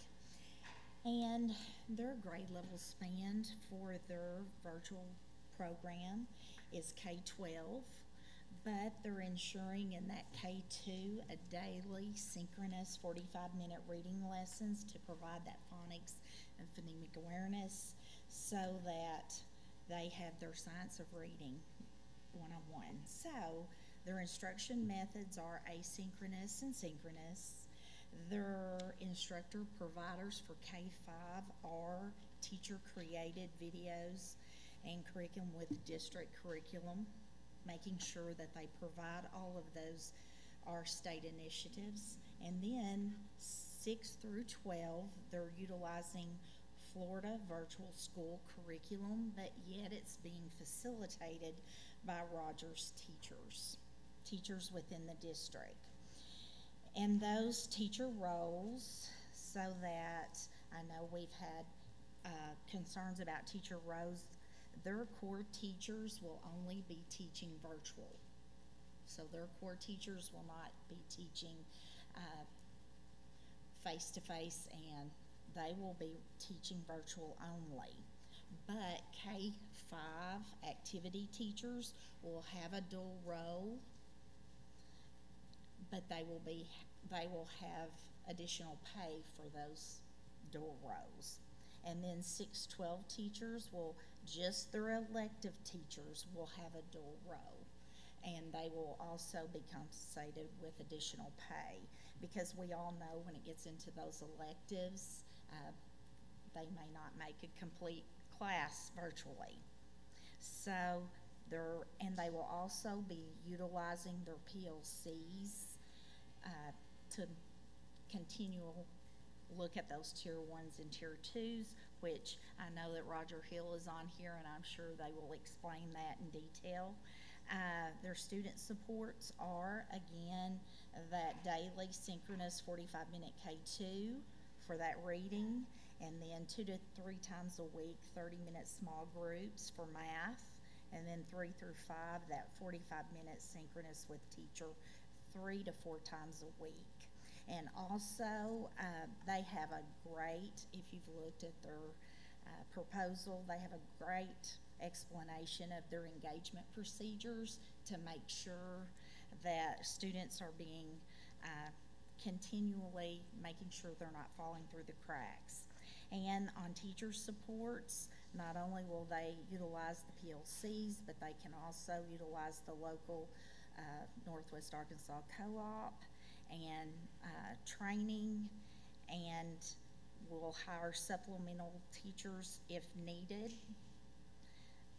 and uh, make sure that they will staff a technology help desk, and uh, but they're going to utilize those formative assessments already and also look at those parent surveys.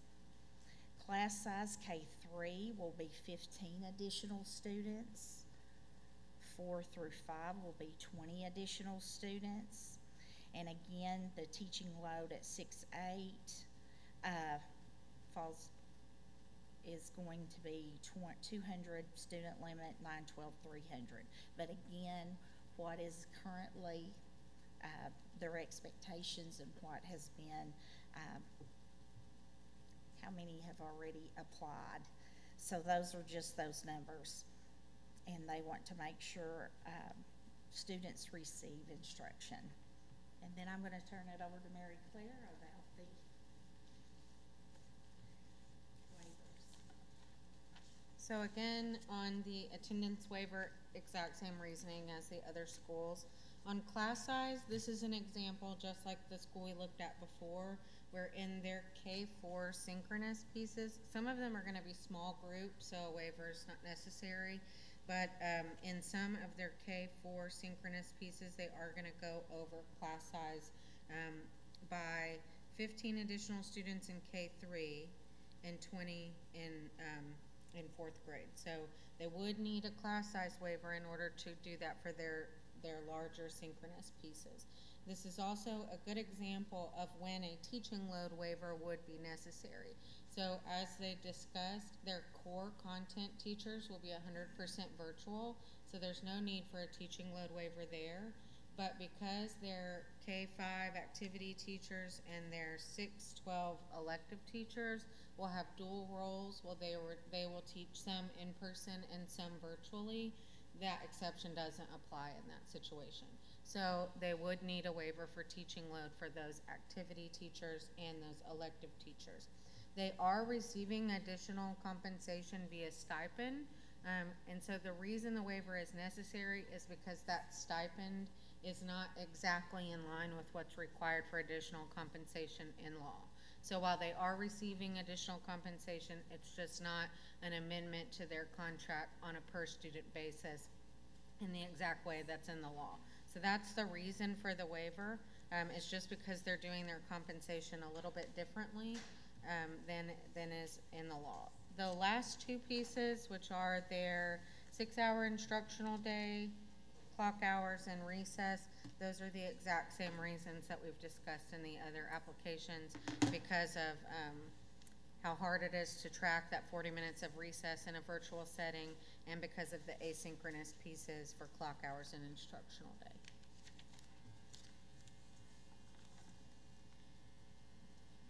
I see that Dr. Berry is on here, and we'll let him take it away for any, an overview.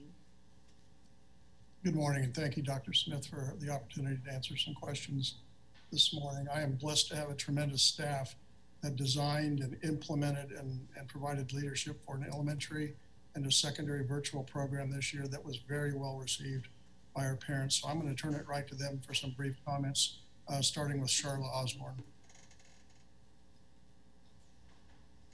Good morning. In the room with me today, I have our Director of Virtual Learning, Darla Tomasco, and our K-5 Principal, uh, Christy Brown. And so I just would, I'll give a brief overview of our process and our, our planned program. We began this process um, with two, an elementary committee and a secondary committee. We reviewed our successes and struggles of the previous year and invited parent input and as well as teacher input.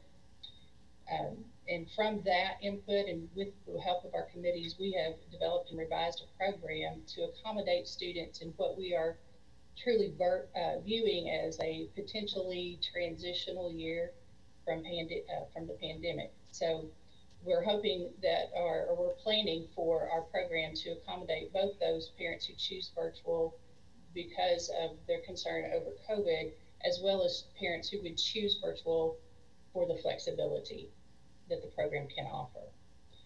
So we also want to appeal to those parents who may have chosen homeschool as an alternative um, at elementary, we have planned for both synchronous and asynchronous learning, as you heard.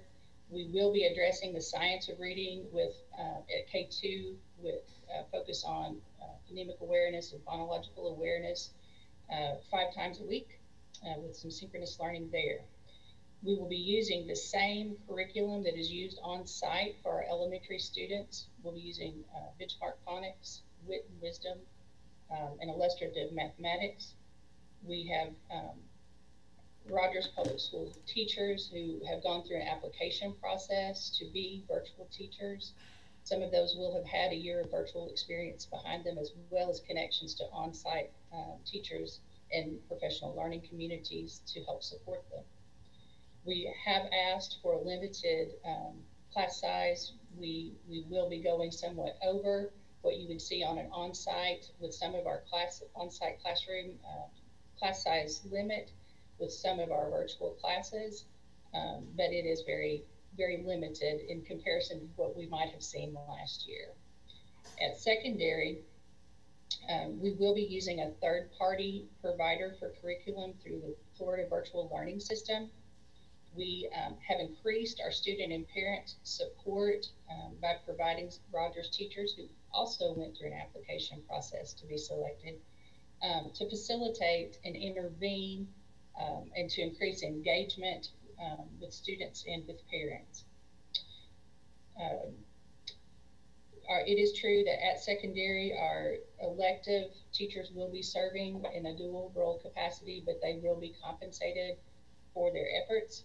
Um, and for both elementary and secondary, we have dedicated special education staff as well as dedicated virtual ESOL staff. We've also added a K-12 social worker um, who will be helping to facilitate social and emotional and mental health um, initiatives and as well as serving those families and their needs. I do want to clarify um, at the K-5 level, our art, music, PE, uh, library teachers will not be teaching dually um, they will be instead creating digital lessons, uh, which will be pushed out by the classroom teacher. They will be compensated for this work, which will be taking place over the summer um, with a with a, an hourly uh, rate for their curriculum work. Um, I think that pretty well sums up the um, bigger picture of our program. We um, I think here in Rogers, we're looking to set the bar for a virtual program. we feel like we're on a path to excellence with this, and we welcome your feedback. And um, we're happy to entertain any questions you may have at this time.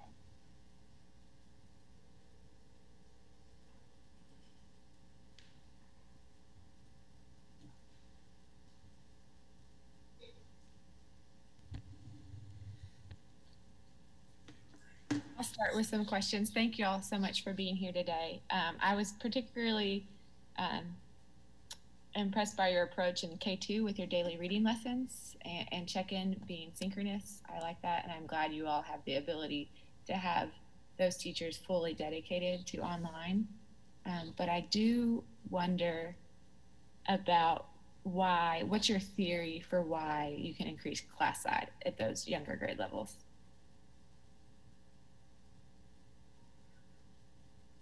I have our, I apologize for that. I have our, uh, our principal for K5 in the room with me, and I'll defer to her on that question. Um, what we, the model that we used this year, um, we, we did, you know, synchronous lessons with our K2.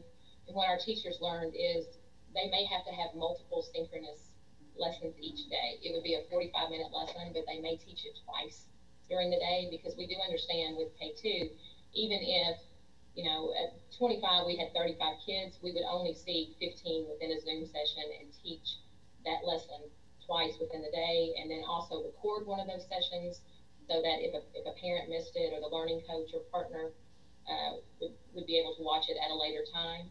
Uh, we, we have, that's a lesson that we did learn this year that even with synchronous sessions, it doesn't mean that you have one synchronous for all students.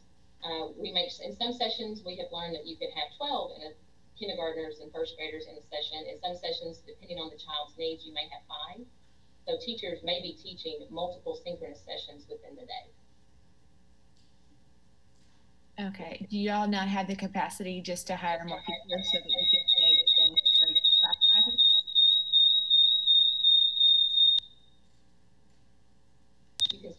I'm sorry, could you repeat that question, please? Yes, I'm I'm curious as to why not just hire an additional teacher and and and keep that at the normal class size instead of not quite doubling but going over in those grade levels.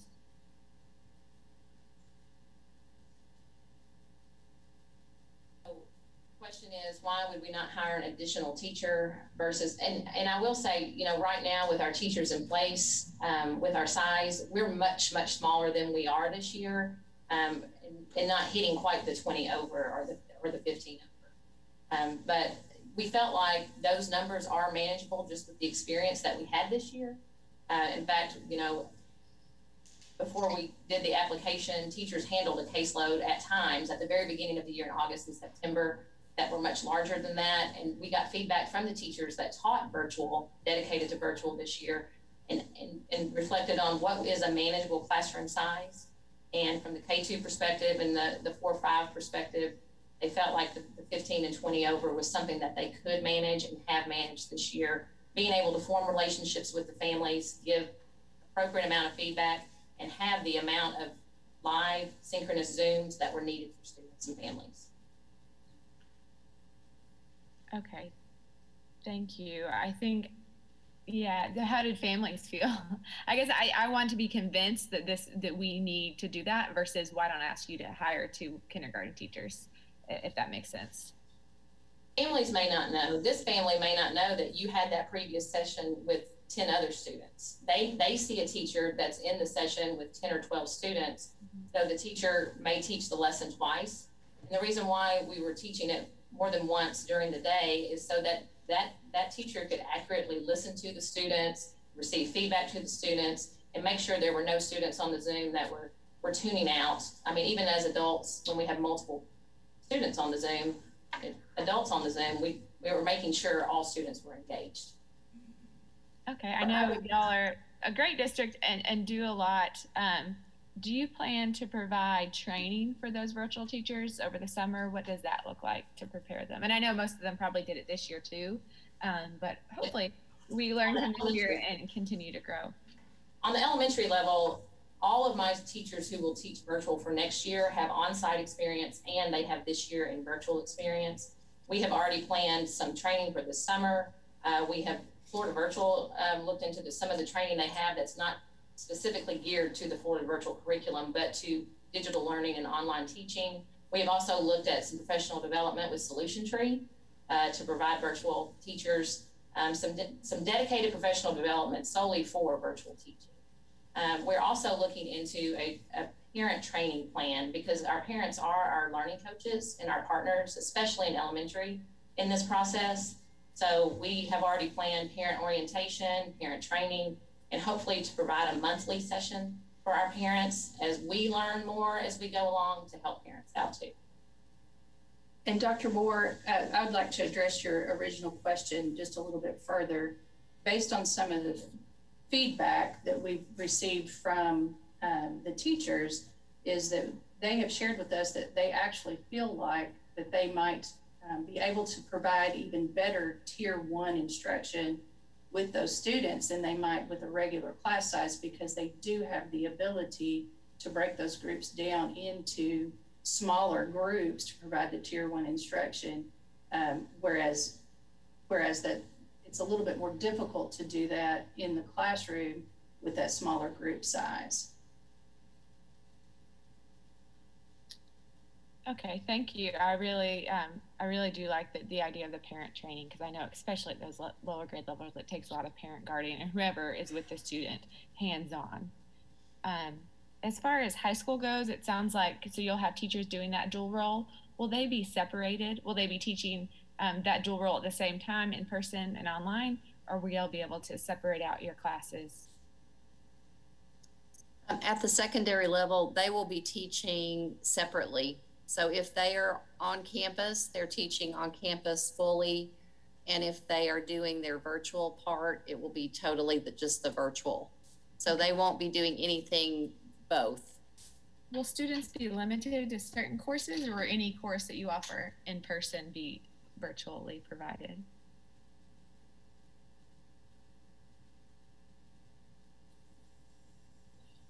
There will be some of the uh, the electives. We're we're looking through those, uh, and so, but to have every course op- opportunity uh, is not available. But we do have some students who will choose to be on campus and will not be 100% virtual for some of those as well.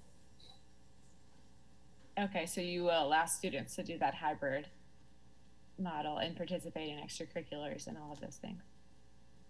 Okay. Yes, ma'am. They have the ability to, it's kind of a cherry picking at the high school level where they can, they really can uh, shape their own learning. That's kind of our tagline for the high school is, you know, students shaping their own learning. And so they really are, parents and students are able to do that.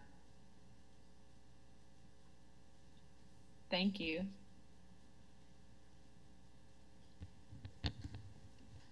Could you tell me a little bit about how you came up with the numbers of on the six six eight of, of 200 and the 912 of 300 um, for a teaching load for a teacher?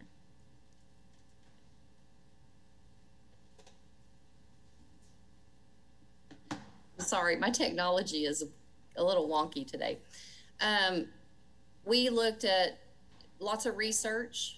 Uh, we talked to teachers. We this is our first year to have actual Rogers Public School teachers that are teaching our students. We we had a third party provider that also provided the teaching piece prior to this. And so we um, looked at a lot of research. Some of our teachers that tutored for us um, had lots of conversations with them about what they felt like teachers could handle as far as being facilitators of a third party curriculum. And um, those are the those are the ways we we came up with those numbers those two items really.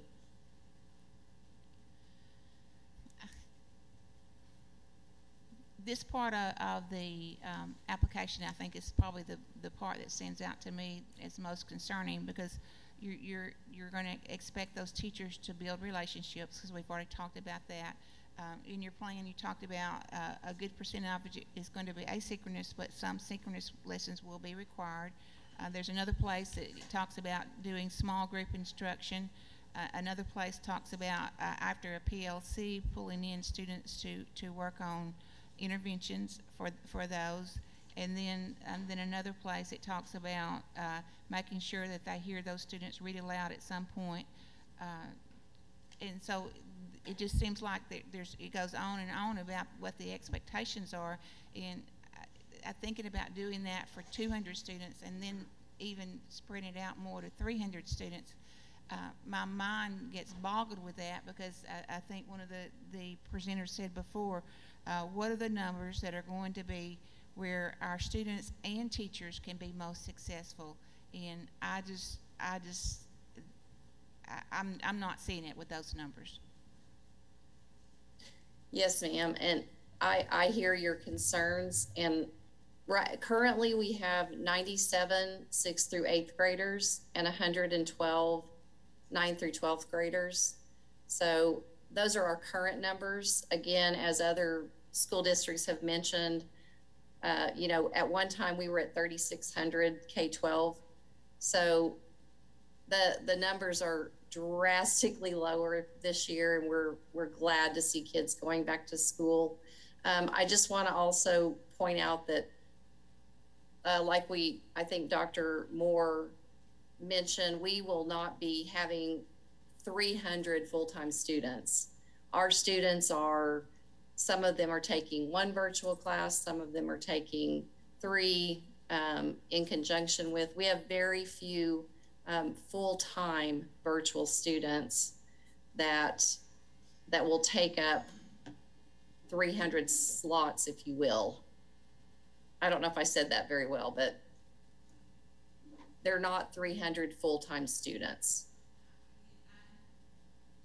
Understand that for electives, but I was thinking about those core teachers, you know, and, and thinking about their numbers, and, and it just gets to be concerning for me to, to think about how a, a teacher is going to be effective and how students are going to develop relationships. And I think that um, we've heard that not only did they develop relationships with that teacher, but they develop relationships with one another. And uh, during this past year, one of the things that we have seen is um, mental health concerns with students that, that are virtual, and, and, so it just it just gives me some pause there when we start thinking about those huge huge numbers. sound extremely large. Go again. Can you hear me? Are you muted? No.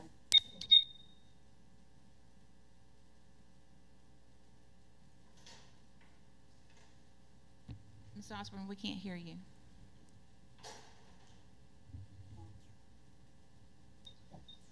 Can you hear me now? All right.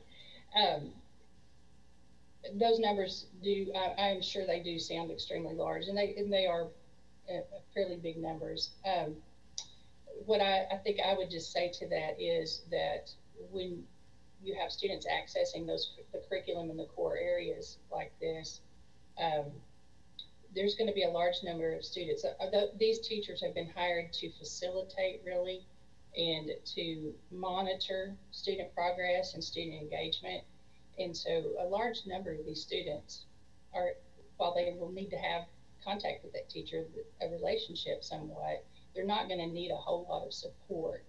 The students that are truly going to need support are probably going to boil down to a fairly manageable number. And those are the ones that, as you mentioned, um, at the secondary level, that might be asked to um, Zoom synchronously for intervention um, who we might send a social worker out to help with engagement, um, or that a teacher might be able to develop um, a, um, a two-way communication with that family on a really consistent basis to make sure that the student is getting the support that they need.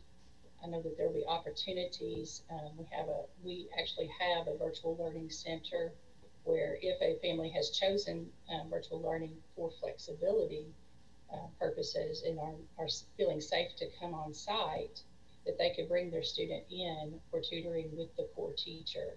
So we feel like we have a lot of supports built in place um, that you know maybe not, don't come through well in the application, but we are we are very focused on monitoring those students and making sure that they have the tools they need if, if they are not being successful. Sure, and, and just one other thing that I, I would really want to point, point out, one of the things as teachers that sometimes we fight is making sure students don't fall through the cracks. And it's, it's easy to find those students that are, are not doing their work, that are not being, uh, uh, um, mastering a standard. But sometimes that student that is doing all of their work, uh, sometimes that, that student that is uh, one of the most compliant that you have in your classroom, that student may be the one that is in most need of attention and most need of help, but gets overlooked because nobody sees them uh, in the classroom. And so I just, I just want to be careful here that we, we make sure that all students um, get the attention and, and what they need. I think that leads to to my question and concern is what process do you have in place then to identify a student who would be successful going into your virtual program before they get started, before they might have issues? We're, we're having to work in tandem here a little bit, sitting in the same room with our sound. I apologize. So we, we have gone through, um, we've worked together to create an application process really um, for our students. And, you know, we, we do understand that, again, as I said, we might be in a transitional year and we have parents who are fearful to send their students to back to on-site learning. Um, and in those cases, we'll work very, very closely with families to make sure their students are successful. But we are reviewing, those parents will fill out the, that application. We're reviewing attendance and academic and engagement records from our previous year. Um, Mrs. Tomasco and Miss Brown are both are meeting with every student that has and family that has applied that would their data indicates that they might struggle in virtual learning and counseling with that family um, to help determine if virtual is truly the best placement for that child. Um, and so that's that's something we're doing on the front end. Okay, that's good to hear. Thank you.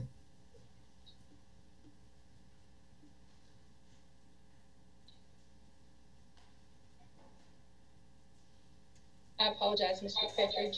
I didn't hear what you said. No, I appreciate your I appreciate your answer. Thank you.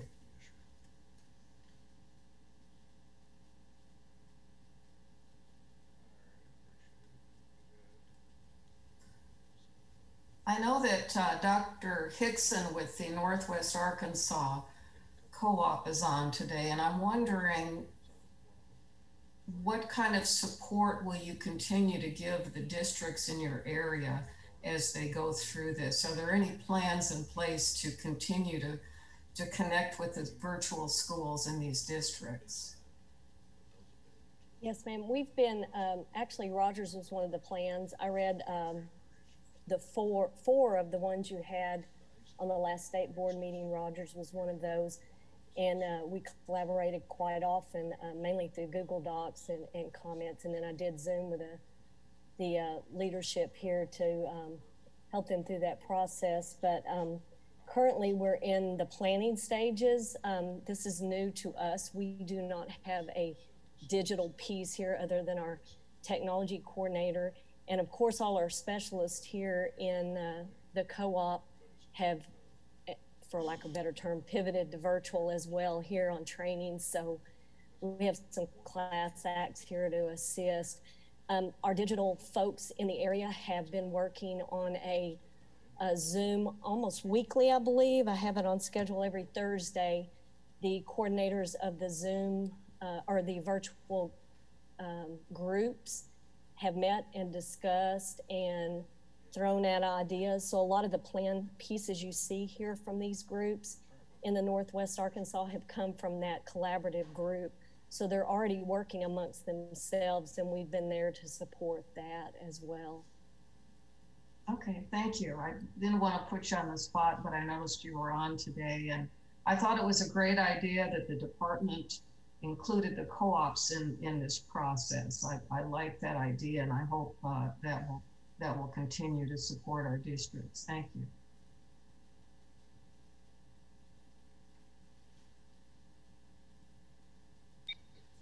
I would like to offer thanks to our, our Northwest Arkansas Co-op. It has been an invaluable support in the development of this plan. Okay, are there any other questions for the school district specifically, or any of the other districts that are still on? I would like to ask Virtual Arkansas some questions. That, that'd be great. John? I'm here. Um, d- d- Dr. Moore, or would you be okay if I went ahead and let the school districts that are on off, if, unless they wanted to stay? Would that be okay? Certainly, I know everyone is very busy. Okay, so school districts, if you're on, we appreciate you joining us today, but you are ex- uh, excused if you'd like to be excused, or you're welcome to stay on and listen to the conversation. John, go ahead. Thank you all for being here today. I know that you have done this for a while. This is not new to you all. I've, I've visited before and seen you in states, in schools across the state. Um, but I think as we really dig down into this, um, I want to understand the idea that students are not just using you for one or two courses, but are using you for their whole high school set of courses. Um, and so that sort of changes the, the game to me as, as, to what your offerings look like. So, can you talk to me first about class size, your teachers, and what that looks like? Sure. So, our, our uh, teacher loads are, are set. The last last we checked recently was at 195 and so there's a lot that goes into why um, why that is. And it, and it really comes from the experience we have over the years. Um, we're we're a, a system that is built on support um, for the for the teachers and the school districts, and so there's a lot that goes into the decision to to have uh, teachers with around 195 um, average students in, in, their courses. We are in a partnership with um, state virtual schools around the nation.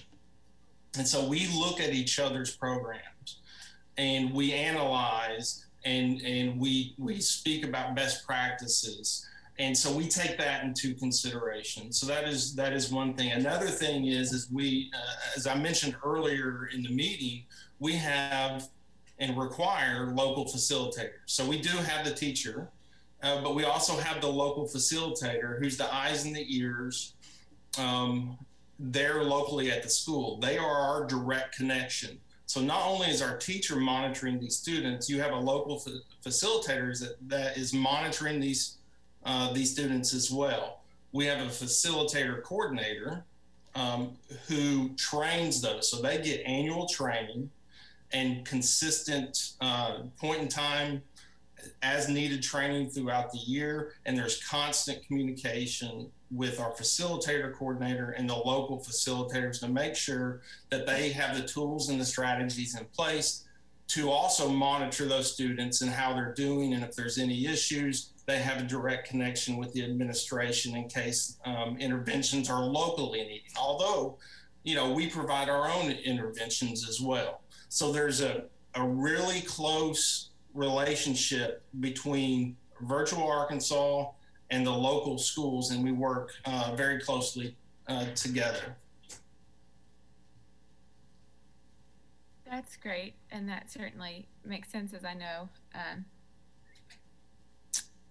I know there are a lot of challenges, and I know that that looks different for a student who's taking a virtual Arkansas course while they're in person in a school versus in person at a home eh, versus at a home. So right. what does that does that facilitator are they equipped to to handle both of those scenarios? Absolutely, they're they they are trained just just as uh, now, now the the training is gonna it provides a different component because. Um, you do have students that are at a distance away from the facilitator, but they but they are trained on how to monitor those students. Our systems are, you know, they they are trained in our system where they can immediately go in and look is the student logging in, first of all? How often are they logging in? What's their grade? Uh, what's their progress in the course? And so they, they can see that at, at any moment of any time of, of the day. I know you all have a hybrid model where there's some asynchronous, some synchronous. Do you have any, are any courses um, competency based or mastery based, whatever you were to call it, in that sense? So it's it's it's. I mean, all of our courses are built according according to the standards, of course, of Arkansas. And so let, let me go into to that just a little bit because I've, I've heard you talk a lot, a lot about the content. So so we we have a uh, division of Virtual Arkansas that is fully dedicated to um, design development of courses.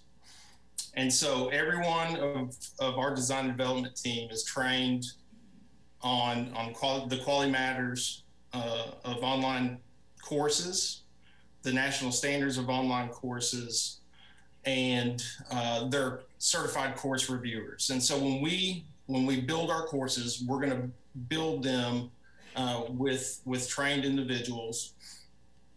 Um, all of our teachers, in fact, anybody who has eyes on our courses, have training with Quality Matters, and so we build. The, I mean, we build the courses directly to meet the standards um, of of Arkansas for every course that we have, and so students can go through those courses, and it's and it's going to be. Uh, mastery based, so they can go through the courses. Um, students who have mastered the content, they can progress a little faster than students who haven't mastered particular content. So they can spend more time on what they need to spend uh, more time on, and students who are struggling can can, based on their pace, spend more time on that content as well.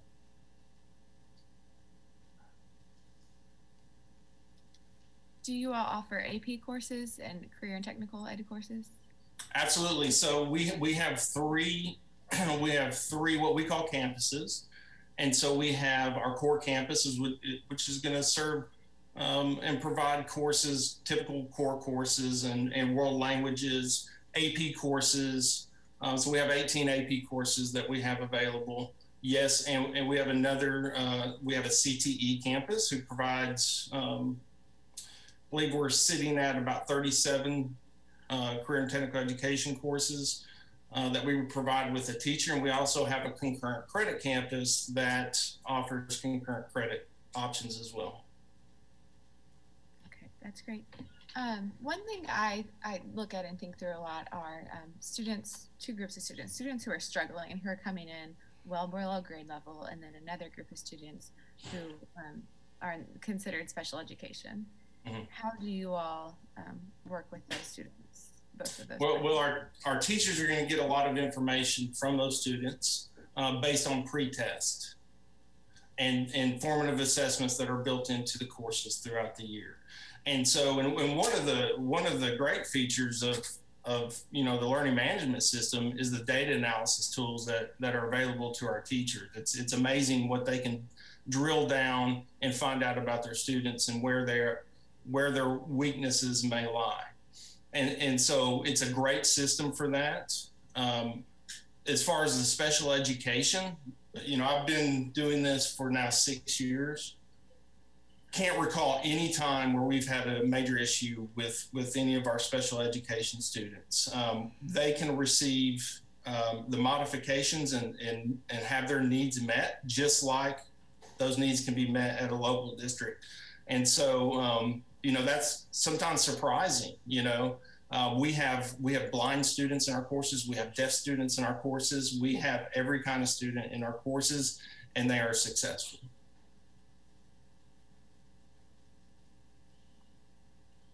thank you. Thank you for answering my questions.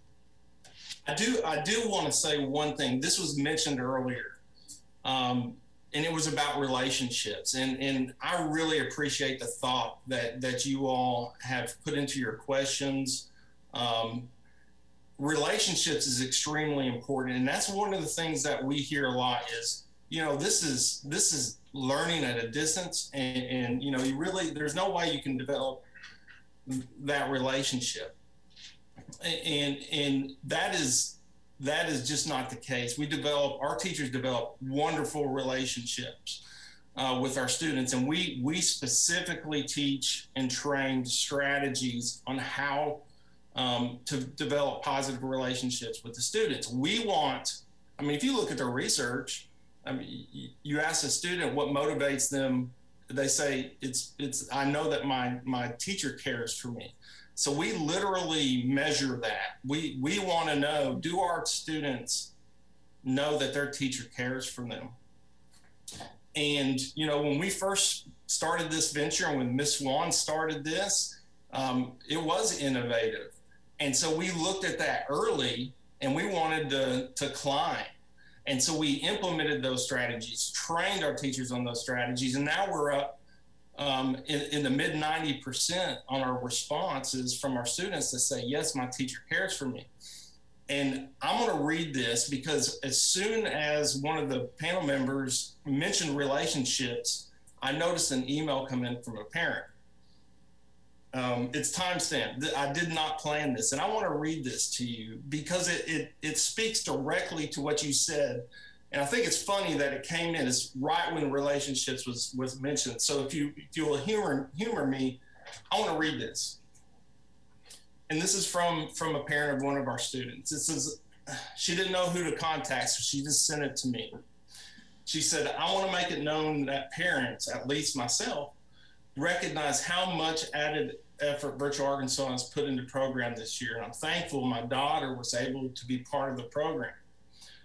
She had a great experience this year and found that mo- that that her teachers really strive to, to be helpful and encouraging. Every one of her instructors have remained in frequent contact, and I have known exactly what they are doing from week to week. I'm forwarding an email that I received this morning from a teacher to prove that even though she's never physically been in her presence, my daughter has really enjoyed her class and talks a lot about this teacher's kindness and obvious love for what she does. Kudos to your faculty and staff, and thank you for supporting my child in every way. And so that that is what we try to get um, with all of our parents. That's that's the feeling that we want all of our students to have, and all of our parents.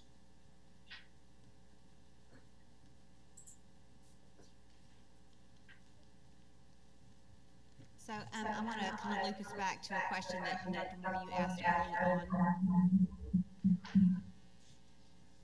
Um,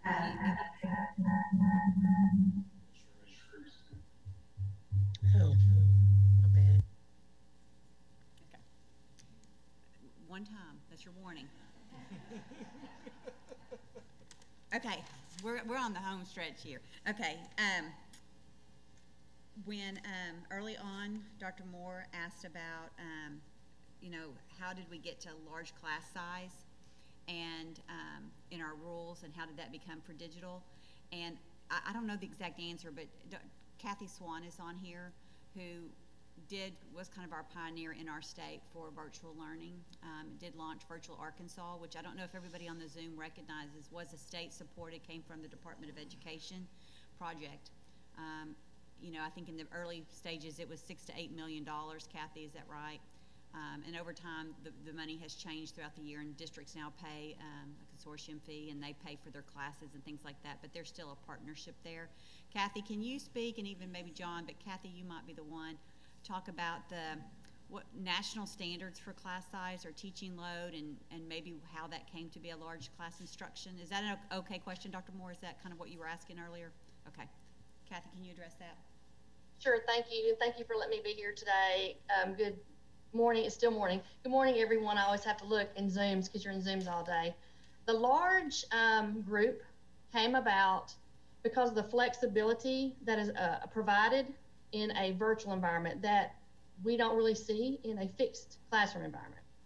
And so when you think about innovation, the large group came from maybe you have a medical model of teaching where you have four teachers and one is an assessment expert and one is uh, that person on the camera that that face of the course. And maybe you have someone who um, is an intervention expert and maybe there's three teachers serving three or four hundred students. Um, it never was intended to say one teacher for 600 students. It was intended to allow for innovation and give um, options for content providers, for for-profit providers, for school districts, for agencies to innovate within that and find their sweet spot. Find what works for them where that teacher is feeling very, very supported and impacting as many children as they can, but then also every child succeeding and every family being, feeling supported. So in those early conversations, it was really difficult to say, here's the number. This is the number because there's so many different approaches. You may have two teachers, one para, two teachers, two para. So um, it was left open-ended to allow for innovation. And hopefully the vision at that point, the meeting that it was held right before I came on board was that they wanted to allow and hopefully get to the medical model of teaching, which was all this support around all of these these students, and to allow for that to be efficient and effective. So that's where that came from and why it was added in um, 20 years ago, 15, 20 years ago. And so since that time, what's amazing to me is we have more powerful digital tools than we had then. So now the teacher does kind of have a medical model of teaching. So uh, Mr. Ashworth alluded to the content. The content is designed, um, can be designed for it to automatically send a student into a pathway based on what they put into the system. So it's almost like there's a paraprofessional there, a virtual para, um, that when that student is not doing well in that type of learning method or, or model, they can automatically, by the system, be directed into a whole nother way of learning that same content. So there's kind of another support person there in the way that the content is developed.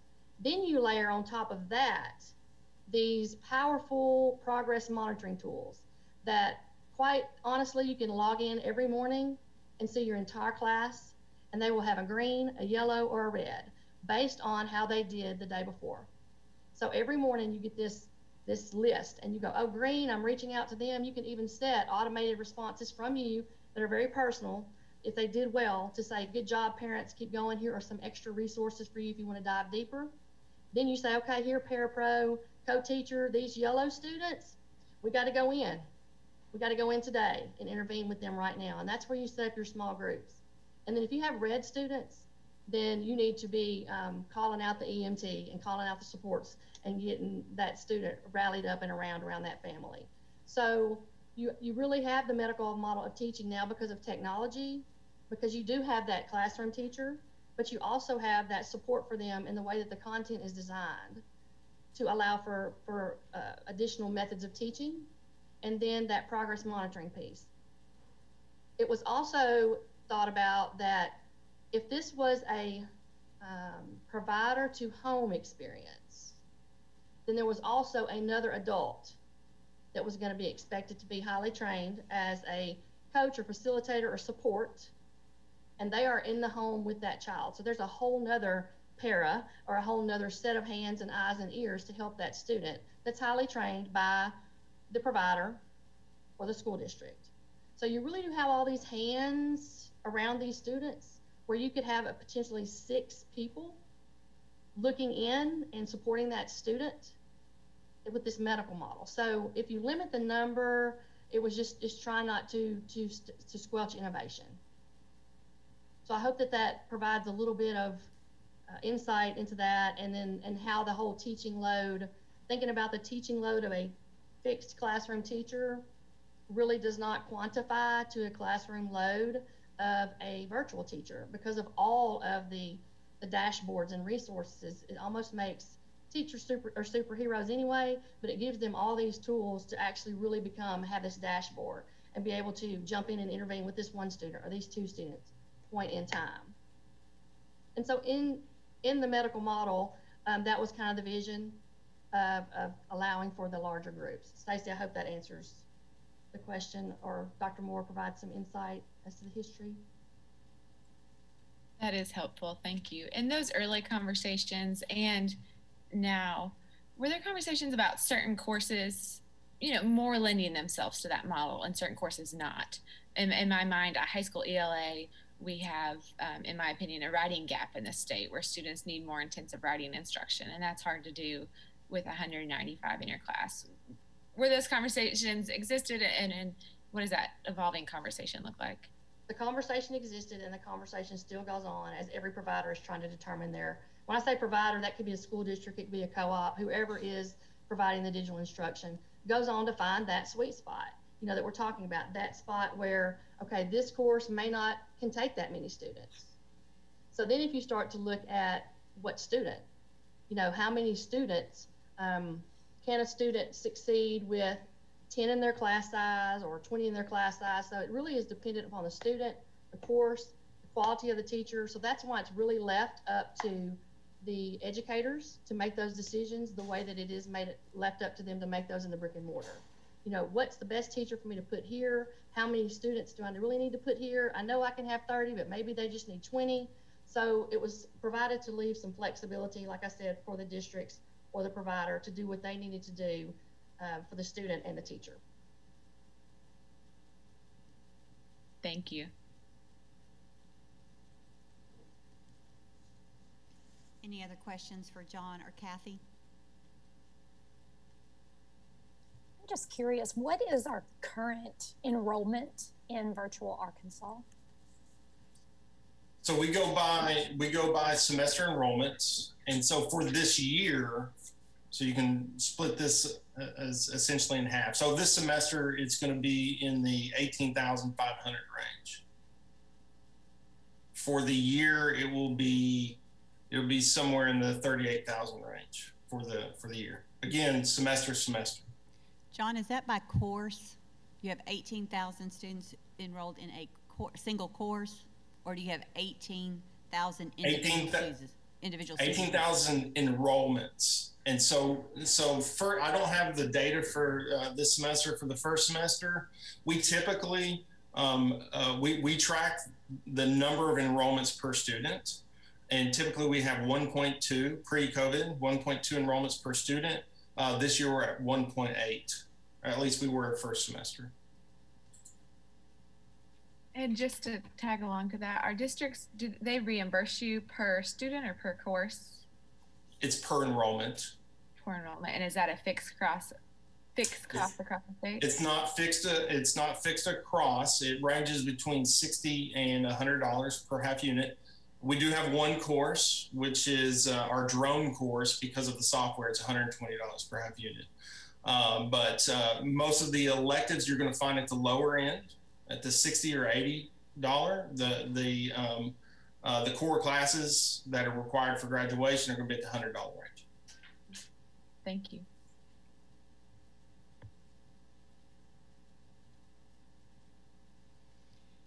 Okay. Um, wanted to one of the other big kind of conversation pieces that I know that we needed to talk about today was um, the number of years. I know there was a lot of conversation about that before, and we've had internal conversation here at the department too. I'm going to ask Deb to come up and kind of tell you kind of where the department's falling on that right now, and just kind of our thoughts around that. Thank you. Um, you've known me a long time, and there's two things you know about me. I like a plan, and then I want data. So uh, we brought you very thoughtful, committed plans and so what I would ask you to do is to consider approving these um, applications for a minimum of three years, and here's why. For the 21-22 school year, that will be the baseline for these applications to be implemented. Now, they've all told you they've learned a lot, but they need to implement the plan that is written and presented. The data then will be based on the 22 summative assessment and we won't have that ready to give to you till about December, January, somewhere in there. We'll have to run ESSA index and Perkins data, and then Dr. Arola um, is committed to running the data to match with the digital learning plans. The next year, um, they will implement again and we'll have the second year of data. So if you give them a three-year timeline, that gives you two years of data based on their written plan. And that helps you to make a real data driven decision. Thank you. And oh, if I may, Deb, before you go, oh. well, I just want to weigh in on that and reinforce uh, what Ms. Coffman said. there have been a lot of internal conversations about this, and uh, uh, you know, some of them uh, maybe tinged with a little conflict, uh, uh, which is not a bad thing, because uh, we we really, I mean, I hope y'all know we dig deep on, on this stuff. Um, we've been since before I got here. I mean, this, these are the kinds of programs we have been encouraging because we we knew we being educators, uh, state leaders, others, we knew innovation uh, was coming and we knew distance learning was part of it. I mean, Arkansas is no stranger to it. We've been doing it all the way back uh, to the this uh, compressed interactive video. I mean, that's you know the technology has has drastically shifted uh, over the years, and, and now it's more affordable. It's not only more affordable for districts; it's more affordable for families, and and we've been trying to set up good systems, good delivery systems for this for a long time and uh, and I know it's it's hard because when you get to this point and, and, it's like there's wide scale adoption of what we've been saying we wanted folks to try. And so that's the point where internally we struggled, and I know you as board members struggle as well about uh, giving that final stamp of uh, yes, we're okay with this. Um, but I, what Deb said was was critically important. Uh, we, we have the plans, and one thing that we have really stressed uh, since when it comes to ESSA, when it comes to any plan that we ask for, it's not a static document that sits on a shelf. If districts see things that are going on that they need to make adjustments, we expect them to make the adjustments and to let us help them when they need our help to do that. So that's no different here. I mean, if they see something happening that isn't quite the way they expected, we want them to let us know so we can help them make make the changes. Um, but without three years, then you know there's very real possibility that a year from now, these folks that have been spending a lot of time reviewing these plans, we're going to have to do it again in some way to to be able to bring back another 1240 waiver request. So we just to, to say a lot, use a lot of words for me to ask you, uh, please consider at least the three years that Ms. Coffman mentioned. Uh, and, uh, you know, obviously not something you have to decide today, but in the coming weeks, uh, as we have more of these plans, just something really would ask you to consider before we make the final decisions. Cut off Dr. Moore, so sorry about that, Sarah. No, you, thank you for sharing your, your perspective. Um, I appreciate it. I have I've had an ongoing concern with Act 1240 waivers when districts come to renew, they are not showing us data that's student focused. So, in three years, if this were to occur, will this be an evaluation by Dr. Arola or will, will it be self reported by districts like we have right now? Our plan is to bring you a yearly report. Okay. So made by all, not by districts. Yes, we'll we'll bring you we'll bring you whatever we can bring to you that uh, doesn't have a restricted value, mm-hmm. but um, we'll bring you everything that we have um, as soon as we have it because we all want to monitor this. We want to monitor this along the way. We want to know the number of students in attendance and participation. We want to know, as Secretary Key said, we want to know when it's working right. We want to know when it's not working as well. How do we adjust? Um, I think the point here is we're trying to serve kids, so we need to know. So we'll bring you everything we have. Thank you.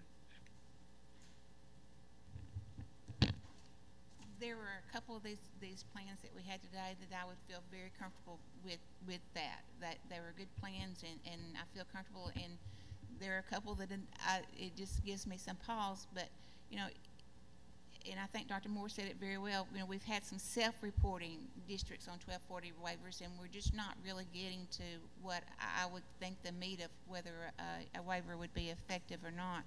You know, if we could have some in-depth reporting, and especially, I think you, y'all are already looking at some of the risk factors on, on some of these districts and, and looking at that and, and making sure that we had some, some monitoring uh, of, of these that, that we feel like are, are on shaky ground. You know, I'll just be honest, I, I felt a couple of these were, were not, well, I won't go there, but anyway, it's just, you, you, just making sure that we had monitoring and then the good reporting that, that, you know, uh, I think from, from the department level, making sure that we were looking at, you know, how, how not only are we looking at student data and looking at uh, our, our students being effective, but then also looking at teachers also. Uh, and, and, you know, are, are teachers being effective? Are they burning out? What's happening at the teacher level also there?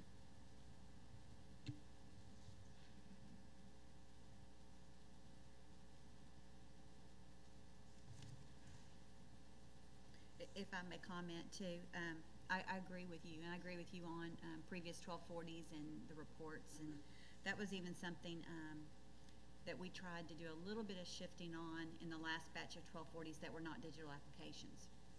Um, when they were coming back for renewals, we were really trying to dig in, and we've even changed our internal process here at the department. We were trying to dig into whether or not they had data to support the renewal of the 1240. In fact, some of the districts um, it never got as far as the state board, but they asked for waivers that they had had previously. And when we started really digging in, they didn't use them. And we said we, we were not going to recommend it if you didn't use it. What we're not. Why would we do that? On some of them, we said um, we need more of your data. You didn't explain this, and we had to, we asked them to give us more information because we didn't feel like they had enough to support. Um, that was one of the reasons for one of the districts specifically on um, teacher licensure we only recommended one year. That was not what they had come to us with and was they were not requesting that. Now they could have come to you and asked for more than that, but in our working with them, we felt like the one year because we felt like we had work there to do. So I agree with everything you said. Um, and so that was one of the pieces on our internal process that we're trying to shift. So hopefully we can, when we're bringing the waivers to you, there's a little bit more with that. Um, the 150 district applications, again, not every one of those we're going to come to you and say we recommend it. You will see all 150 of them at some point because we're required to bring them to you. But the department may still have concerns about some of them and may not make a recommendation. And then again, you as a, board we could dig in and determine whether or not you're comfortable with them or not. Um, on the ones you heard about today, I just wanted to note that um, the West Side, Johnson County, Guy Fenter, just in our notes, we had already flagged for monitoring the reading part in the early grades and going back and following up with that and determining whether or not um, the way that they were approaching the science of reading and the materials, like how did that work? That was something we'd already noted um, on the Rogers application, the class size piece, we noted that. So while we're talking about how we're going to do our monitoring for next year, I don't have the complete rollout plan for you today. It's going to be based on how we've noted these, these diff different risk levels at the different districts and what things are standing out. And then, um, for example, on the literacy part, that most likely will be our literacy team, who normally is not in monitoring. But in this case, it would make sense for them to do that. Um, on areas where we feel like there was really high large numbers of teachers and ratios, that may be our teacher effectiveness unit who normally doesn't monitor. Um, you know, site visits looking for different things than we've normally looked for. So again, we're building this airplane as far as the monitoring piece at the same time we're flying. Um, but at the same time, I think we're trying to be personalized with our mo monitoring based on the needs we're seeing that are coming out of the, of the schools. Um, so that's just something else I wanted to kind of put out there today.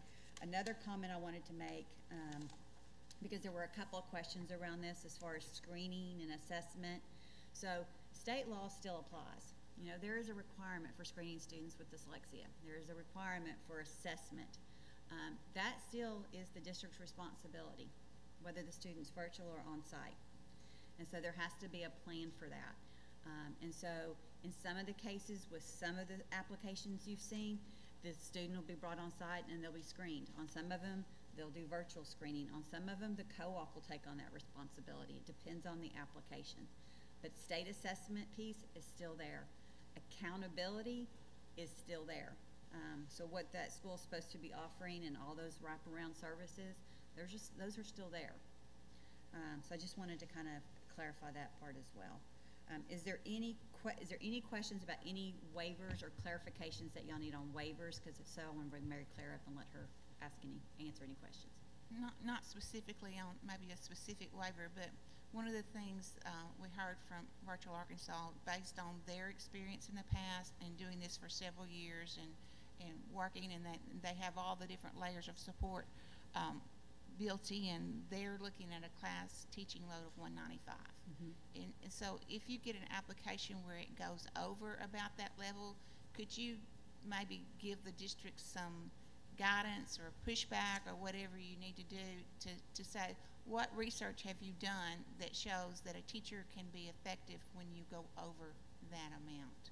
And, and, and you know, because I know y'all are going through these applications very thoroughly, and, and I, I want to again say how much I appreciate the work that y'all put in on going through all of these and, and uh, working with districts to make sure they have good plans. But And- maybe we can do Yeah, some we- we conversations on the will- front end on that. We can go back and review any of them that show the size over that and go Mhm. back and ask more questions around that and Yeah. even pull those to the side um, for a definite, have them at the board meeting to be able to ask some of those clarifying questions about what are the supports.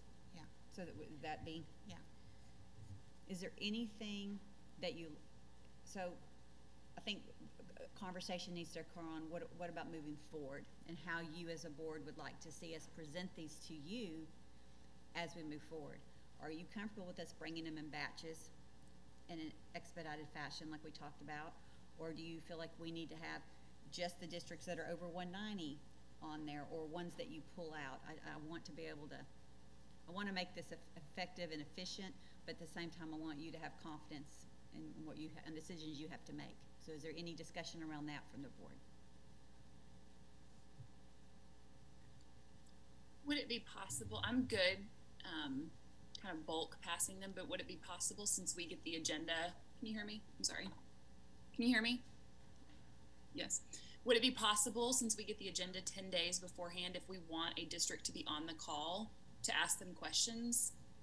So, you know, maybe you give us ten and we say, hey, can we just have these two districts available for the call? Yes, ma'am. If we get a batch, could we get, you know, if we get a batch of fifty three days ahead of time, I mean, we can't. Can't do it. We can't do it. You know, we're gonna have to have, if you're gonna give us a large batch, we need time to be able to, to read and, and because it, you know, one of these was sixty pages, the others are thirty. I mean, it takes time to go through them and not get overwhelmed by just, you know, you forget what you're reading, so. Okay. Won't these have to be pretty, pretty large batches or to get moving on these as far as like time, timeline or, or thinking of, you Yeah, well, getting- so, right now, Deb, how many do we, or Tally, how many do we actually have ready for next Thursday at this point? Four? Okay, additional for, plus the ten we just had. So we have fourteen. Are we gonna have any more this afternoon? So we're waiting on some, some, some, s- so Dr. Pride here in Learning Services, I'm telling you, it's just falling apart. What, what, what are we gonna do? Um, they have probably some of the, the, the larger sections as feedback and, and digging into, and so right now, we're in a process right now where we, we've reviewed a lot, and we're waiting for some feedback, and they're re-reviewing. Um, so we will try to get as many applications as we can uploaded for you by tomorrow, and won't add any more after tomorrow for next Thursday's meeting. Would that work? So we'll get as many that we can by the end of tomorrow, uploaded for you to be able to review for next Thursday. And then if you guys could get through and look at those and give me notice, um, maybe by Tuesday if there's one that's kind of flagging for you, and we will go through them as well and look for the high numbers. Um, what we might have to do in between, so that, and then the next board meeting, we'll have a batch on there, and then we'll probably need to have another meeting at some point with another batch. I mean, we'll probably have to do couple of these, but I think we can get to a point where we can do them virtually, and we can do, if, if that's the only thing we're doing on there, we can do it batch by batch and have those districts on there. Does that sound like a plan? Okay. Thank you. One more question there. In thinking about Ms. Newton's question, are we able to put qualifiers around a waiver? So for instance, we can say, you can, you know, we'll grant, and I know it's a small percentage you're asking for that class size waiver, but we'll grant the class size waiver, but for no more than five over at the elementary levels, no more than 195. Is that a like a qualifier we can do? Yes, so the board has a lot of flexibility in terms of putting limits on the waivers, so you can put that on there. One thing to, you'll have to have some conversation with them because some of the applicants, if you make a restriction that isn't in line with how they want to do their program, they might not be able to move forward with their program. But that's a discussion you can have with the, the individual applicants. But yes, you can, you have the authority to put limits on waivers like that. And also, um, I meant to mention this at the beginning, but you have the authority at any time if during the monitoring of the department or if you start hearing about a particular program to call a school in to review their waivers, change their waivers, revoke, modify, whatever you want to do. So um, I think that that gives you a lot of control over the waivers moving forward. Thank you.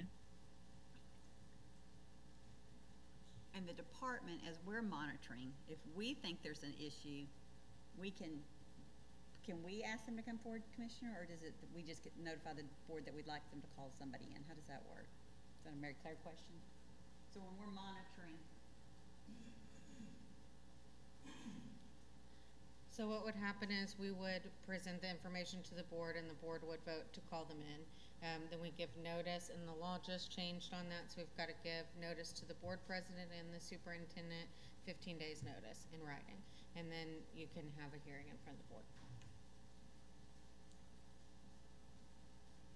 and this just might be, as we move forward with this the next year, that we have some intentional planning of different schools, having them come in on Fridays during reports and doing updates throughout the year as well. Okay. Um, that's all the things I had on my list for you today, but what are, what topics do you have that you want to continue to discuss?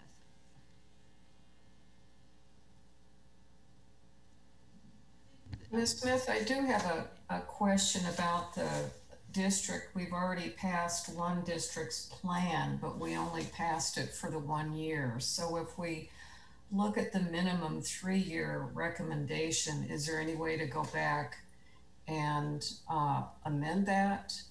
So that same district presented their charter um, this last week, and they actually got three years on their charter. So he, he would look he would actually love for you guys, guys to do that. I'll let Mary Claire tell you how.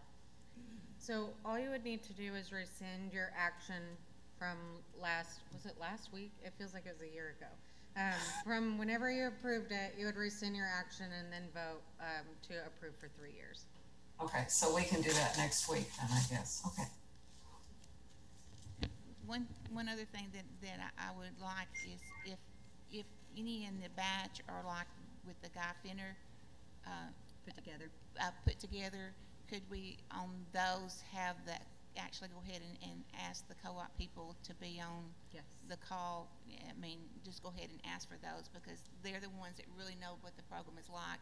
'Cause lots of times the district are not gonna have the answers, but the, but the co-op will. Yes, we will do that. So co-ops will automatically be on. Yes. And we'll try to group all the districts with them at the same time. Okay. Okay. Because right now you've seen them coming through as singletons as we're approving them, and we'll try to batch those.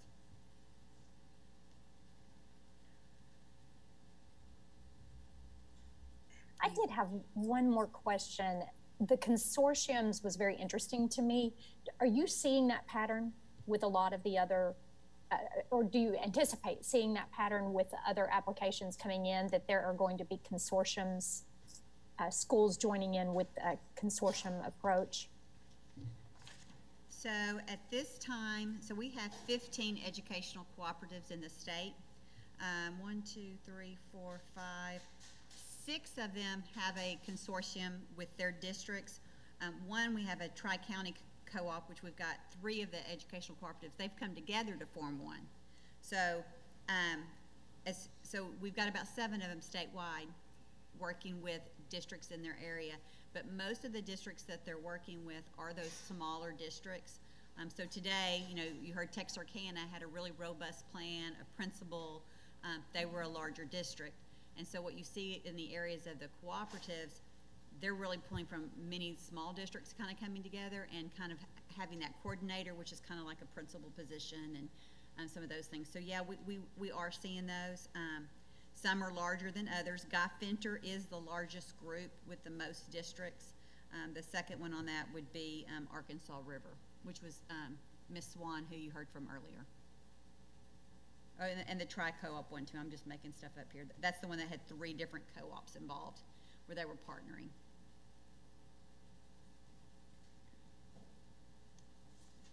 Thank you.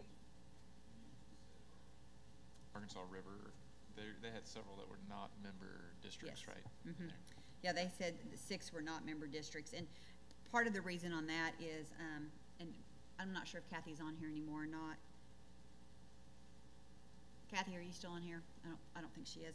Um, you know, Kathy's, his, that's her background, and she's their director, and she rolled out kind of a plan, especially with, um, the younger grades, um, and offered that to all the other co-ops if they wanted to kind of partner up with her on that.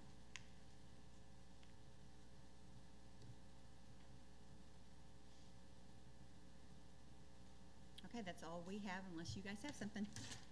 I just wanted to end on uh, just saying that we appreciate all of the the work that has gone into um, going over these. It's it's a phenomenal amount. So we definitely appreciate all the work that has gone into it, and the districts that have um, applied and those that have been on the call today. We appreciate you taking time to um, help us uh, with some questions and give us clarity. Um, and I just want to go back and hit on something that we kind of hit all day, which is talking about relationship. And that's what we have to keep the focus on. We are trying to build and strengthen relationships with our students, with our teachers, uh, with our community members for the reason and for the purpose of making sure our students get the best education. So however we need to do, whatever we need to do to develop those relationships, um, whether it's gathering data, it, it's all about communication and figuring out new and innovative ways to communicate. Uh, relationships take work. It's it's a bit easier to have a um, a relationship with someone who's in town and someone that you can get in touch with really easily. It takes a lot more work when you have, for uh, example, uh, bi-coastal relationship. It can work. It can work if you have a long distance relationship. Um, however, it takes a lot of creativity, a lot of work, um, and a lot of communication and a lot of sharing information to make it work efficiently. And we need to think of that in the same way for our students. Um, digitally, that's long distance. That's like a long distance relationship. And we've got to make sure that, um, you know, our group size is where it needs to be. We don't have too many people in between those relationships. So I just appreciate all of the work that has gone into um, getting this information and helping us make the best decision for our students. So we appreciate your time today. Thank you. With that, we're done. Well done, team. Thank you.